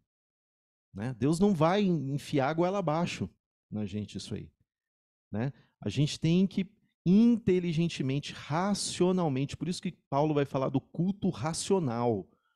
Passa pela nossa razão, você vai contemplar o Cristo, você vai ver, cara, o próprio Deus, o Todo-Poderoso, ele se humilhou, foi até o ponto mais baixo como homem e ele perdoou. Isso tem que ensinar algo para gente. Isso tem que quebrar o nosso orgulho. Tem que quebrar. Até porque, é, e tem muita gente, pessoal, vamos, vamos, vamos esclarecer isso daí. Tem muita gente que às vezes demonstra na frente de todo mundo um certo amor, né? Uma certa, digamos assim, misericórdia, mas no fundo não é o que eles são. Eles estão fazendo ali aquilo ali para ser vistos, às vezes, né? Mas não, o que Deus deseja fazer em nós é uma transformação da nossa consciência. A gente vai passar naturalmente a produzir os frutos de Deus, né? Deixa eu buscar aqui. É... Deixa eu achar aqui qual que era. Era Lucas alguma coisa, mas me fugiu agora o, o versículo. Ah, Mateus 23, 26. Não precisa virar lá se você não quiser, tá? Mas Jesus está ali diante dos fariseus, e os fariseus tinham um monte de, é, de coisinhas que eles faziam, né? Tipo, ele, eles já, já não bastava tudo que a lei tinha, os fariseus colocavam até coisa a mais ali, se bobeasse, né? E aí eles tinham lá um, um ritual de, de lavar as mãos, de que eles achavam que se purificavam diante de Deus assim, né? E aí entra Jesus e, o, e os discípulos lá, e eles comem sem fazer essas coisas. Os fariseus, pô, mas Jesus, tá vendo aí? Eles não lavaram a mão. Não vai falar nada, não? Aí Jesus ele fala que a partir do versículo 26 de Mateus 23, né? Fariseu cego, limpa primeiro o interior do copo e do prato, para que também o exterior fique limpo. Né? Muitas vezes a gente vê determinadas denominações aí cristãs, não vou nem entrar também no nome de Y, de X ou Y. É... Sim, Jean, a, a palavra, a, a, melhor palavra é amor, não é caridade, tá? Caridade é uma, é uma tradução meio defeituosa. Mas amém. É, o que que acontece? A gente vê algumas denominações que elas querem o quê? Elas querem colocar é, rituais também. Elas não necessariamente lava a mão, mas quer colocar uma peça de roupa, quer colocar é, uma roupa supostamente santa, que sem aquilo você hum, Deus não vai te ouvir, você não agrada a Deus, você vai escandalizar os outros, né? Sendo que na realidade Deus ele quer trabalhar o quê? É o interior, ele quer ganhar o nosso coração. Quando o nosso coração for ganho, você vai pensar no que você vai vestir, não segundo é, segundo as tradições humanas, aquela tradição que acha que um, um terno e gravata é santo diante de Deus. Não, mas você não vai, é, a mulher, por exemplo, ganha, com a sua consciência ganha por Deus, ela não vai usar uma roupa que ela sabe que pode levar um homem é, mais facilmente ao engano. Mas isso não vai ser uma religiosidade, não. Ela vai fazer isso como fruto do interior dela que foi mudado, né? É, até porque é, o homem que é impuro, ele vai, você pode pôr uma mulher de burca na frente dele lá que não vai ter jeito, ele vai imaginar também, né? Mas no que a pessoa tem condições de fazer, ela vai fazer naturalmente, mas não é como algumas denominações creem que é assim, ah, você põe essa vestimenta tal, que essa aqui é santa. Gente, isso vai frontalmente contra tudo que os, os apóstolos disseram, contra o que Jesus aí está ensinando. Não, realmente não é esse o caminho. O caminho é realmente a, é, é a transformação interior. Deus vai trabalhar na nossa, na nossa consciência, vai ganhar-nos para que a gente possa a frutificar misericórdia, amor, santidade. Não é mero, não é terno, não é gravata. Santidade é separação. Separação do quê? Desses valores mundanos. No lugar de ódio, de é, vingança, você vai ter misericórdia, você vai amar. né? Quem, quem quer participar? Eu estou vendo aí que tem muita gente escrevendo. Gilberto, eu ainda estou sem falar em, trânsito, minha internet móvel já caiu três vezes, mas está maravilhosa essa reunião, graças a Deus. Glória a Deus. Glória a Deus mesmo, querido. Ah, Ó, no versículo 14. Ai de vós, escribas e fariseus hipócritas, pois devorais as casas das viúvas, sob pretexto de prolongadas orações. É crente que vai e ele ora com aquela voz alta, Senhor Jesus. Nesse momento ele começa. Gente, não é isso. Que, que, que, isso daqui não é redenção. É uma coisa é você orar efetivamente, você derramar lágrimas sinceras, você erguer a, a, tua voz de uma maneira alta, mas com um coração sincero. Agora, um mero coração assim, de querer parecer santidade, isso aí, isso aí não tem nada a ver, está por fora. Ai, querido, aleluia! É, exatamente. E 2 Timóteo 3, versículo 5, o apóstolo Paulo vai falar: tendo aparência de piedade, mas negando a eficácia dela. Afasta-te desses, ou seja, pessoas que aparentam santidade, elas, elas têm aparência de sabedoria, como os fariseus. O cara ia lá, jejuava, ficava todo magrelo, ficava parecendo uma caveira no meio de todo mundo. Aí todo mundo, olha o santo de Deus ali. Jesus falava, na verdade, a recompensa deles já vão ter, fica tranquilo que eles vão colher. Né? O que Deus quer de nós é uma consciência nova, ganha por Cristo. Amém? Alguém tem alguma coisa aí para comentar, para perguntar?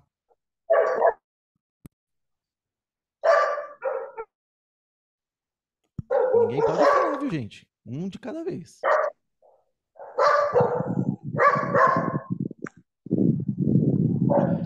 Tô vendo, tô vendo uns cachorros latindo aí.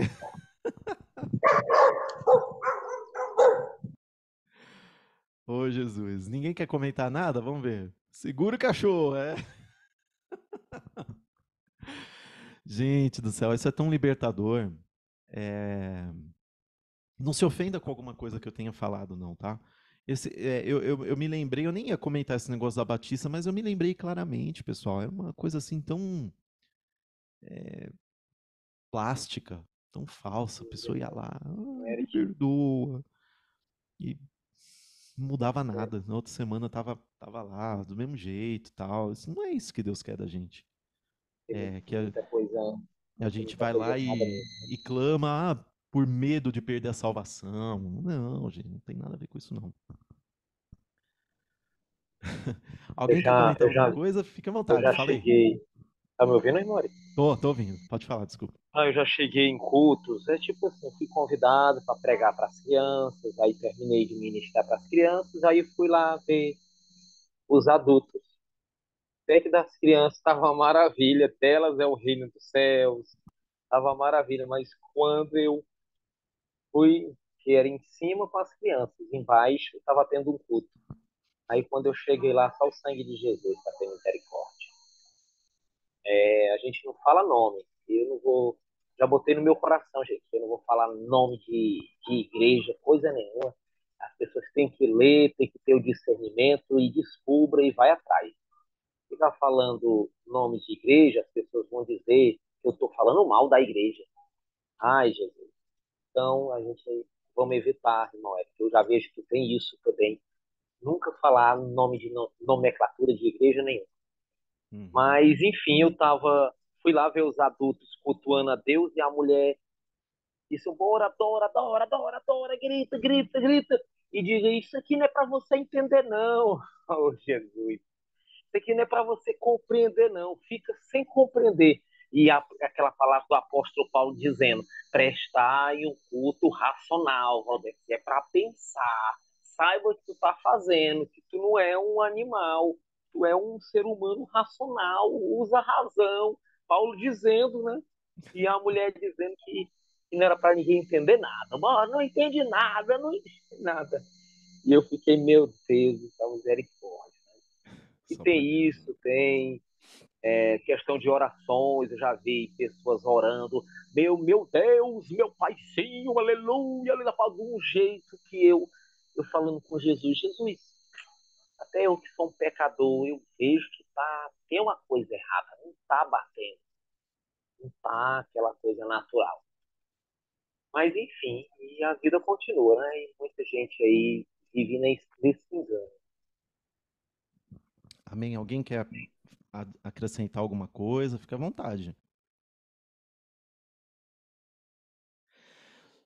Ah, só vou responder pontualmente aqui o que o, o que o Jean tinha perguntado lá no início. Tem, vai fugir um pouquinho do assunto, mas assim, o Jean, agora que eu li com mais calma o que ele escreveu, ele falou ali acerca de seres é, pré-adâmicos, né, que foram enganados, né?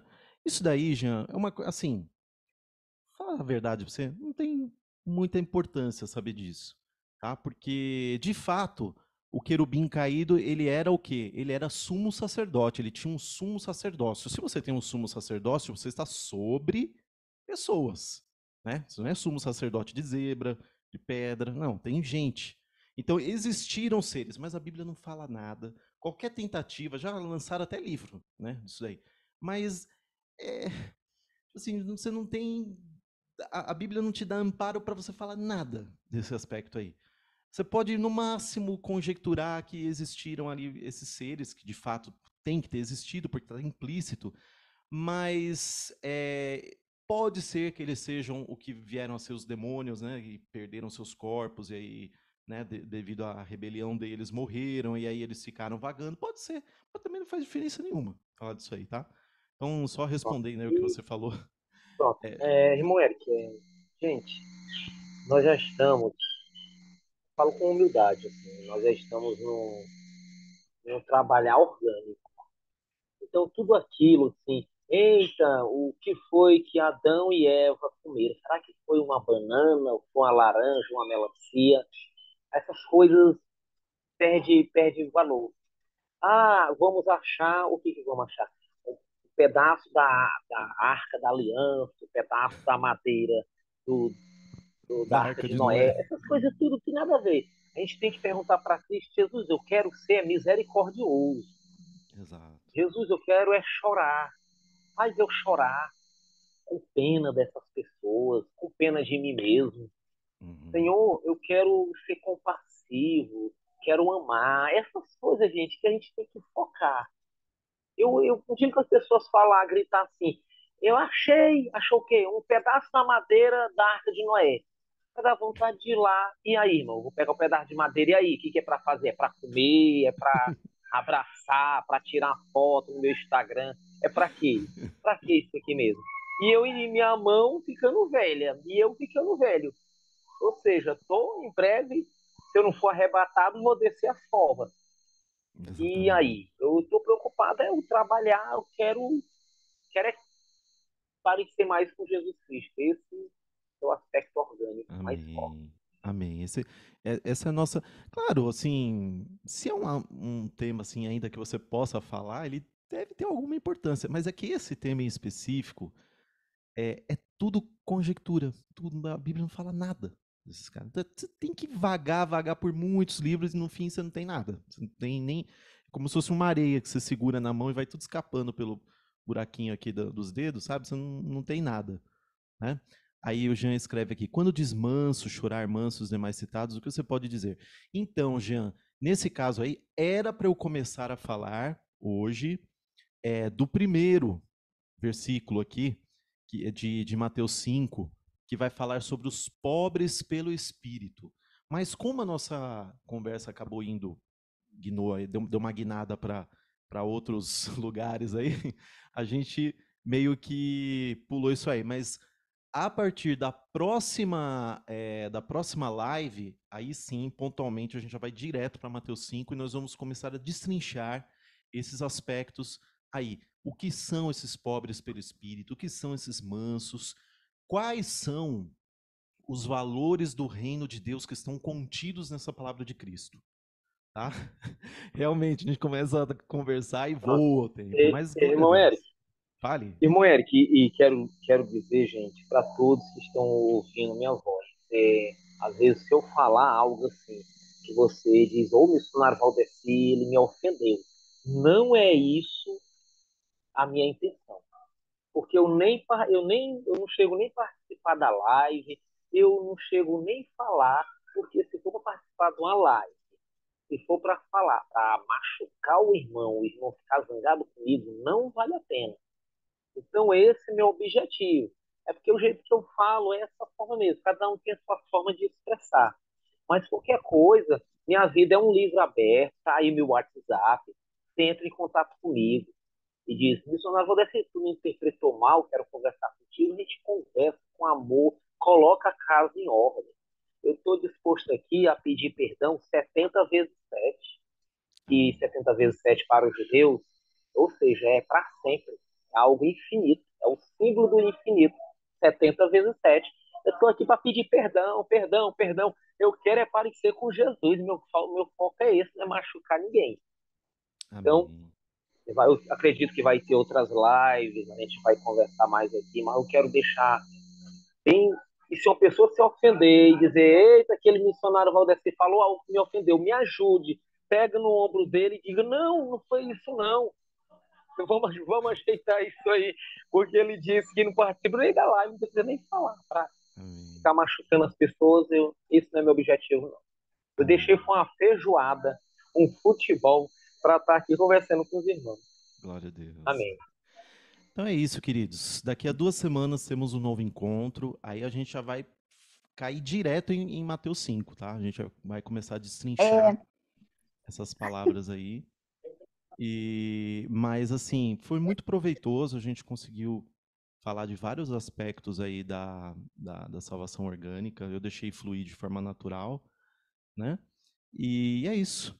Não se esqueçam que semana que vem, terça-feira, às 8 da noite, é, a gente vai começar a falar sobre a inteligência artificial à luz da escritura. Nós vamos destrinchar esse tema. Eu imagino que é certeza que a gente vai precisar de algumas reuniões para falar desse tema, tá? É imperdível, vai ser gravado. Sim? Não é que a, a Japa quer falar aí, deixa a mulher falar. Fale missionário Valdeci, dá licença agora. é o seguinte, só agradecer mesmo, tá bom? Porque graças a Deus eu tive a oportunidade de assistir essa live hoje. E assim, eu vou, eu vou, com certeza, eu vou pensar mais, refletir mais sobre as palavras que o irmão Eric falou de Jesus na cruz. Me comoveu muito. Ele falou de uma forma que foi assim, uma flecha, sabe? É, Jesus na cruz, sofrendo, e sem ter culpa de nada, e todo mundo, eu fiquei, eu fiquei assim um pouco impactada, porque eu já tinha ouvido, mas hoje, quando eu ouvi agora, eu fiquei, eu fiquei, eu, eu fiquei impactada um pouco, e eu fiquei pensando nas coisas também que eu faço, que não são, eu não sou certa, eu sou falha também, certo? Então é isso, a gente, todos nós precisamos de Jesus Cristo. Então eu vou pensar, vou, vou refletir e e graças a Deus que isso é bom, isso é ótimo, isso é maravilhoso. Porque foi assim que eu comecei a amar as crianças e assim eu vou começar também a ter misericórdia das pessoas mais miseráveis Amém. que Amém. eu. Assim como você Amém. falou que você prioriza as, a, a, lá no hospital, é, são priorizadas as pessoas que estão em estado pior. Né? Se você tem uma fila enorme lá de pessoas com gripe, com tosse, com coisas assim mais corriqueiras, e chega lá um acidentado lá é, entre a vida e a morte, eles param tudo e vão atender aquele cara. Né? Isso. É assim, independentemente de, de, de, ter pessoas graves ou não, quando chega um bandido, ele sempre chega acompanhado de um policial. E uhum. o policial fica dentro da sala com a gente. Então a gente tem que dar prioridade para eles, independente de qualquer outras pessoas. Se tiver com parada, qualquer coisa, a prioridade é eles, porque eles têm que sair o mais rápido possível do hospital. Sim. É assim. É, eu, eu, peguei, eu ia pegar o gancho, mas assim, para complementar, no sentido de uma pessoa, independente de ser um bandido, uma pessoa que chega lá totalmente destruída entre a vida e a morte. Meu, ela é priorizada. A, a atenção maior vai ter que ser para essa pessoa ali naquele momento. E é a mesma coisa. As pessoas é, que estão mais espiritualmente enfermas, são essas que estão aí, é o assassino, essas pessoas Você vai pegar o histórico de vida dessa pessoa, essa pessoa nasceu um bebezinho. Ela não decidiu um dia assim, é, não foi uma decisão assim, ou oh, eu quero ser um, um assassino agora, você. Não, foi um monte de coisas ali, mas é o quê? É uma enfermidade espiritual. São várias enfermidades espirituais, né, no caso de algumas pessoas. E Deus ele, ele olha para é, aquele Cristo ali que olhou para aqueles fariseus fazendo aquela, né, é, zombando dele, é, é, desafiando ele, eram pessoas extremamente doentes, enfermas espiritualmente. Então foi em compaixão, Senhor, eles, eles já estão tão doentes que eles já não têm noção do que eles estão fazendo. Eles, eles estão achando que estão fazendo a coisa certa, mas eles estão totalmente longe de ti. Tenha misericórdia, né? Que possa ser esse o nosso coração. E isso é processual. Não é fácil, não. Eu sei que não é. Eu amo minha filha, por exemplo. Se, se alguém fizer mal para ela, vai ter que. Assim, o meu primeiro instinto, como eu ainda não. Eu também estou sendo ganho por Deus, o primeiro instinto que fala é que lá, não. Eu tenho que destruir tudo que vem ameaçar ela. Mas o Senhor, ele nos convida para esse trabalhar mais profundo, nos fazendo ser como Cristo é. Né? E, e aí, a partir disso, a gente, a gente passa a produzir as obras de Deus naturalmente, não, não vai mais ser esforço é, fazer, né? não vai ser aquela coisa, aí, eu tô aí, querendo esganar, mas eu vou fazer. Não, pode falar. Irmão Eric, e aí já entra a parte que a sociedade fica colocando a nomenclatura para as pessoas. Isso aqui é bandido, isso aqui é uma prostituta, isso aqui é um ladrão. Para nós cristãos não existe isso. Uhum. Para quanto mais a pessoa. Isso aqui é do Estado Islâmico, Valdecir, eu te apresento aqui. Pois quanto mais essa pessoa está nessa situação, mais a gente tem que dizer oh, como Jesus te ama, como a gente tem que ver aquela pessoa ali como uma pessoa doente, como uma pessoa carente, ser trabalhado. Como cada um de nós. Agora ele está num, num nível assim depravado demais. Hum. Mas não é necessário a gente colocar isso aqui é um bandido, isso aqui é uma prostituta. Não. É ter aquela misericórdia. Já Exato. começa por aí, né? Eu, eu sabe o que eu costumo fazer, assim, muitas vezes? Eu olho uma pessoa do Estado Islâmico, sabe aquele cara lá que, que eles filmam, né? Os reféns dele filmam matando os caras. É um sangue frio, assim, absurdo que essas pessoas têm. Elas já estão num nível totalmente depravado, assim, não tem mais nem noção do que eles estão fazendo. Estão cauterizados. Então, eu olho essa pessoa e imagino, cara, você já pensou uma pessoa dessa aos pés de Cristo, servindo o próximo dele em amor? Essa pessoa poderia estar assim, ela está nesse estado destruído. Uma pessoa totalmente destruída. Isso tem que aparecer no nosso coração, tem que nos mover na direção da pessoa. Né? Não é você amar o que a pessoa está fazendo lá. Separe, entendeu? Aquele ser humano é, ele está totalmente doente. É por isso que ele está é, produzindo essas obras mortas aí. Né? Mas é, é, uma pessoa na qual o Espírito de Deus, que é a extensão do próprio Deus, está dentro dele lá. Deus está dentro dele. Só que ele está morto nos pecados, nos delitos dele. Ele está totalmente morto. Ele precisa de ajuda, ele precisa ser ressuscitado ali. Entendeu? Então é, é, é esse amor, esse mesmo amor que que no caso a Luciana, que é da área de saúde, aí tem, para quando vê aquele, aquele, aquela pessoa é, lá numa maca, totalmente destruída lá, meu, a gente tem que ter espiritualmente também esse valor. A pessoa está morta nos delitos dela, está morta. É uma pessoa totalmente destruída. Ela chegou nesse ponto aí porque ela desceu tudo que podia descer na escada da, da vida espiritual dela. Desceu, ela está lá no, no porão, lá no porão do, do capeta. Entendeu? A gente tem que ter essa noção. É isso que vai mover a gente. Né? Então é isso, pessoal. Fazer, quem quer é, fazer uma oração aí para a gente encerrar? E, irmão Eric, só me permita aqui Sim. eu falar com, o irmão Tiago. Aí, irmão Tiago, graça e a paz, meu irmão. Irmão Tiago, eu acredito que aí na Argentina, né? Você está na Argentina, tá fazendo um frio aí, porque aqui em Teresina tá pegando fogo, meu. Uma maravilha, né? Uma, uma boa tarde aí para todos que estiverem ouvindo aí. Também a, a, paz do Senhor alcance a todos nós. É, sim, sim, tá bastante frio aqui, sim, eh, Valdeci. Eu, eu, eu trocaria contigo, se é que você gosta de frio, eu trocaria contigo na hora, entendeu? Porque eu amo o calor. Oi, irmão Mas, Tiago. boa Ah, tarde, então. boa tarde, Boa Luciana, tarde, irmão? Tiago. Aqui é a esposa do missionário Valdeci, tudo bem? Tudo bem, prazer. Vamos trocar de lugar, vamos?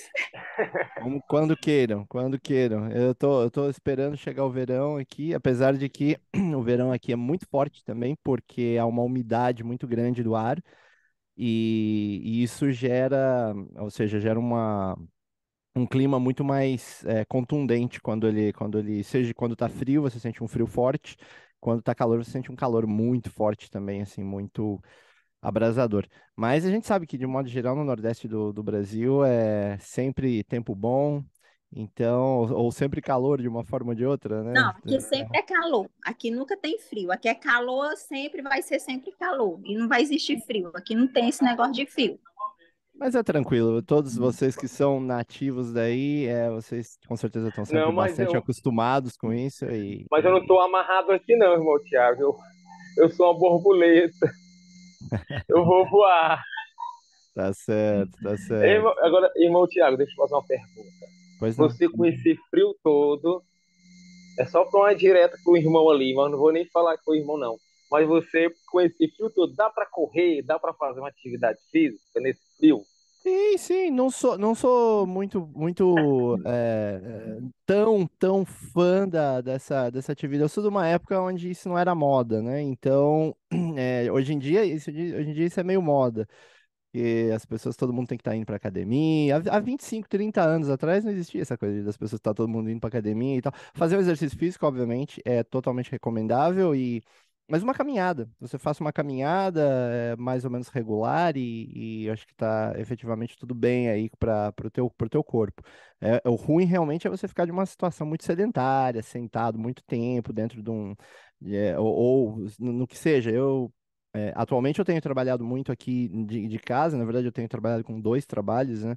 Então eu tô muito, muito, muito tempo na frente, dentro de casa e na frente do computador, mas todo dia que eu acho algum espaço, eu pelo menos saio, faço uma caminhada de pelo menos uns dois quilômetros aqui em volta, para para que tudo esteja bem, né? Principalmente para minha coluna, porque eu tenho uma certa, uma certa complicação aí na minha área lombar de, de coluna. Então, ou seja, fico sentado aqui direto, é, às vezes é complicado. Mas nada, né? Sim, sim, sim, quando, quando é, quando é. Mas eu não sou, mas não é que eu sou, tô preocupado com isso, tipo assim, ah, eu tenho que ir pra academia e tal. Não, não, isso aí não, não, não faz na minha cabeça, nunca fez e no fundo, no fundo, no fundo, não é tão necessário assim. A atividade física é boa. Quem faz, faz, mas eu sempre fomento as pessoas não sejam guiados por modas, né, ou por tendências. Isso também tem muito a ver do que a gente está falando aqui, né, do que vocês estão falando, que é justamente é, pensar que há muitas pessoas, eu- de novo, eu não, não gosto de, de, de, é, ensinar que seja, né? Vou, vou usar essa palavra, não, não- mas enfim, eu falo porque eu também dou aula, né? Mas é, eu não gosto de ensinar tanto por contraste, né? Ou seja, o meu funciona porque o do outro não funciona. Então, mas a gente sabe que realmente, sem citar nomes de, de nenhuma nenhuma agremiação aí é, é, religiosa e tal, a gente sabe que é muitas pessoas que às vezes estão seguindo as, as, as modas religiosas, por assim dizer, de fazer isso, fazer aquilo, né, e tal. E, obviamente, ou seja, as partes mais importantes são as verdades espirituais e, a, e o norte é Cristo, né? Então, se as pessoas olham para este norte, que é o norte, né? Obviamente, o maior de todos, o eterno, é, as pessoas com certeza vão, e, e, e em parte do que eu vi que vocês estiveram falando um pouco mais cedo, porque eu tive me ausentando aqui um minutinho, que eu tive que ir a, a, a buscar meu filho aí né, na escola, é, o sentido de é, como eu faço de repente para que essa para que a gente possa estar permitindo que essa que essa o nosso espírito seja mais conformado à imagem de Cristo. É, um, é algo que a gente deve fazer também, ou seja, tem uma, tem uma responsabilidade própria, como o Eric bem disse, não é uma coisa que também vai acontecer por passe de mágica, né? Mas é, é, a gente tem que buscar isso, a gente tem que é, enfim, é, tratar de, de, de, de novo, olhar para o norte, que é Cristo. Todos os exemplos estão aí, estão bem claros no, no Evangelho. Obviamente que é muita coisa no Evangelho, por assim dizer, para se desvendar de um, de um, certo ponto de vista, mas eu acho que as partes principais, as partes mais importantes, é, ou, ou, ou, as fundamentais que sejam, né? É, que todos precisavam, precisamos entender, eu acho que estão lá. Os exemplos do Salvador são fantásticos, absurdamente fantásticos para a compreensão humana, porque na verdade isso vai além da compreensão básica que nós temos. Agora, pra, já para a compreensão humana, é, a gente olha e vê que o Senhor é um, é um Deus maravilhoso, realmente é um Deus de amor, e, e, a gente precisa buscar isso, mas a gente tem que se permitir que aconteça. É, não vai acontecer de novo, de forma. Ah, o Senhor tem um propósito de um modo geral, mas o propósito dele é com toda, com toda a família humana. Mas é, é, é, é o que eu quero dizer é que pode ser que, ó, talvez alguém específico, talvez o senhor queira, ok, eu preciso que você faça tal, tal coisa e de repente eu vou ajeitar as coisas para que você chegue naquele ponto, porque eu preciso, porque você é importante em um sentido X ou Y. Né, para cumprir o meu propósito para toda essa família humana. Mas, de um modo geral, sempre nós vamos ter que abrir realmente o coração para poder fazer isso, para abrir o coração para poder perdoar. Realmente, não é humanamente falando, dentro da nossa consciência caída, não é fácil realmente perdoar. Não, não, não é eu acho que é, é muita é, é, é, inocência é, dizer assim, não, não é fácil perdoar ou perdoar, não é fácil. Realmente não é fácil. Por isso, nós precisamos da ajuda do Senhor. Porque, agora, ao mesmo tempo que nós precisamos da ajuda do Senhor, ele nos orienta. O espírito que ele deixou, ele vai, vai vir e vai ser ativado, mas a gente precisa fazer a nossa parte. Nós temos uma. Eu mesmo, dentro da minha, da minha, da minha debilidade, muitas vezes eu, eu digo é algo que, que, se eu pudesse de novo dentro da minha da minha debilidade é, eu, eu, eu, eu, eu talvez mudaria o livre-arbítrio humano, mas o Senhor é muito mais sábio que eu e todos nós juntos. Então, Ele nos deu esse livre-arbítrio justamente para que nós pudéssemos nos conformar mais depois à imagem de Cristo e permitir essas obras do Espírito, a, a ação do Espírito, melhor dito, ativ ser ativada dentro de nós. Não vai ser exatamente uma um milagre, entre aspas, da, da, de um minuto a outro. É como o Eric disse, é algo uh, processual, ou seja, é algo que, que leva um processo, ou seja, que leva, tem um passo, depois tem outro passo, depois tem outro passo e vai indo. Né? Mas a gente tem que querer é, permi se permitir dar esses passos, né? Para que, enfim, efetivamente a gente possa chegar lá. Talvez alguém não vai perdoar do, da, da noite para o dia, mas se você for tratando de é, tratando de fazer isso e mais importante realmente também em espírito e em verdade isso é o que mais importa e o que interessa, porque você pode falar com a palavra, você mente com a palavra, mas normalmente você não vai mentir ó, com outro fator orgânico, você já não vai mentir com a voz. A tendência é que você já não vai mentir com a voz. O teu tom de voz vai dizer exatamente o que você realmente está lá, você tem lá dentro no teu, no teu íntimo. A tendência já é essa. Mas você até pode chegar a isso, mas no teu interior é o que importa realmente. Você tem que demonstrar isso. Você, não adianta você falar que eu vou perdoar, mas ah, tem que fazer, né? E tal. E não, não. É importante que isso seja sincero, que isso seja verdadeiro, que depois se torne, à medida que você for fazendo, isso vai se tornar natural. Se permita, se permita perdoar se permita é, ter misericórdia, como o Senhor nos ensina. Se permita, é, se permita fazer, seguir as, as, as indicações do Espírito. O fruto do Espírito é bom. Então, você já vai saber que tudo que é isso para nós, para o nosso entendimento humano, né? É, e, mas o nosso entendimento humano já consegue captar o que é bom. Só o Senhor, na verdade, sabe o que é bom de verdade. Mas é, é, o nosso espírito humano já consegue capturar o que é bom. Então, se permita, se permita, se permita ser misericordioso, misericordiosa, se permita é, é, perdoar. Eu também preciso disso. É, como compartilhou outro dia aí dentro do grupo o Valdecir, falando sobre o apóstolo Paulo que dos pecadores eu sou o mais, eu sou o maior. Estamos falando do apóstolo Paulo, nada mais, nada menos. Imagine eu, Tiago Ferreira, por exemplo, o que sou, né? Comparado com isso. Né? Então, ou seja, sim, nós, nós precisamos do Senhor. Mas vamos nos permitir isso. Vamos nos permitir isso, que a gente possa é, efetivamente permitir a ação do Espírito e, e, ter sempre o Senhor como exemplo, como o Eric disse também, no momento ali da, da, da flagelação, no momento da, da, da crucificação.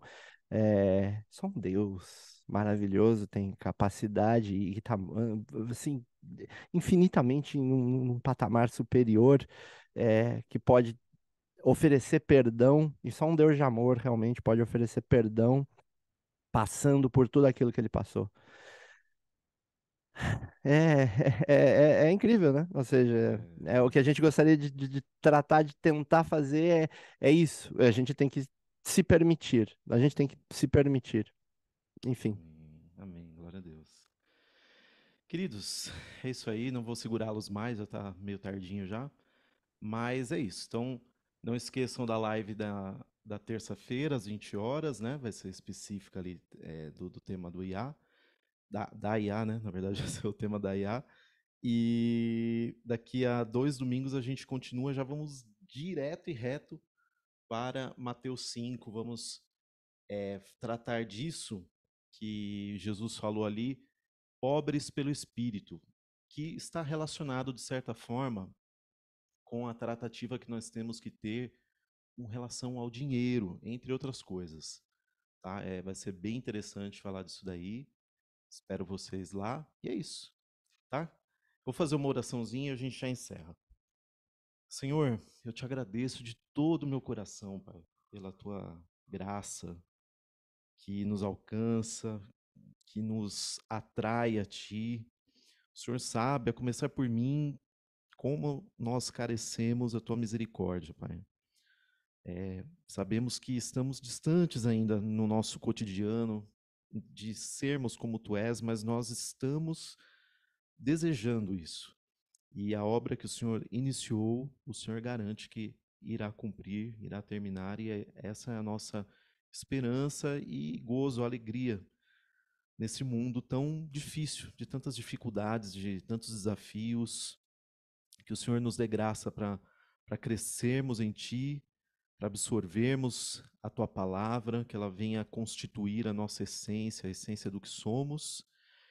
E te peço desde já que o Senhor abençoe a reunião da terça e esse grupo, que esse grupo venha ser fonte de bênção, que o Senhor tiver que mudar em mim, em nós, nos ensinar, ensina-nos, ensina-me a mim por meio dos irmãos, eu abro mão de qualquer uh, sentimento de orgulho, de achar que eu sei alguma coisa, estou disposto a aprender com os, com os meus irmãos, contigo, com qualquer maneira que o Senhor utilize para nos ensinar, para me ensinar, e que nós venhamos a crescer em Ti, praticar essa misericórdia, esse amor, sermos realmente conformados à Tua imagem, Pai.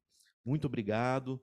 Dai-nos um restante de feriado aqui no Brasil bom. Quem no caso do Tiago, quem está fora aqui do Brasil, que o Senhor tenha um restante de dia proveitoso e te agradecemos por tudo e pedimos que o Senhor siga conosco. Essa é a nossa oração, Pai, em nome de Jesus Cristo. Amém. Amém. É isso aí, queridos. Tá? Muito obrigado. Amém. Vou subir a gravação, tá? No YouTube, aí eu compartilho lá no grupo. E é isso aí, tá? Fiquem com Deus. Muito obrigado. Amém. Para mim, amém. Tchau para vocês.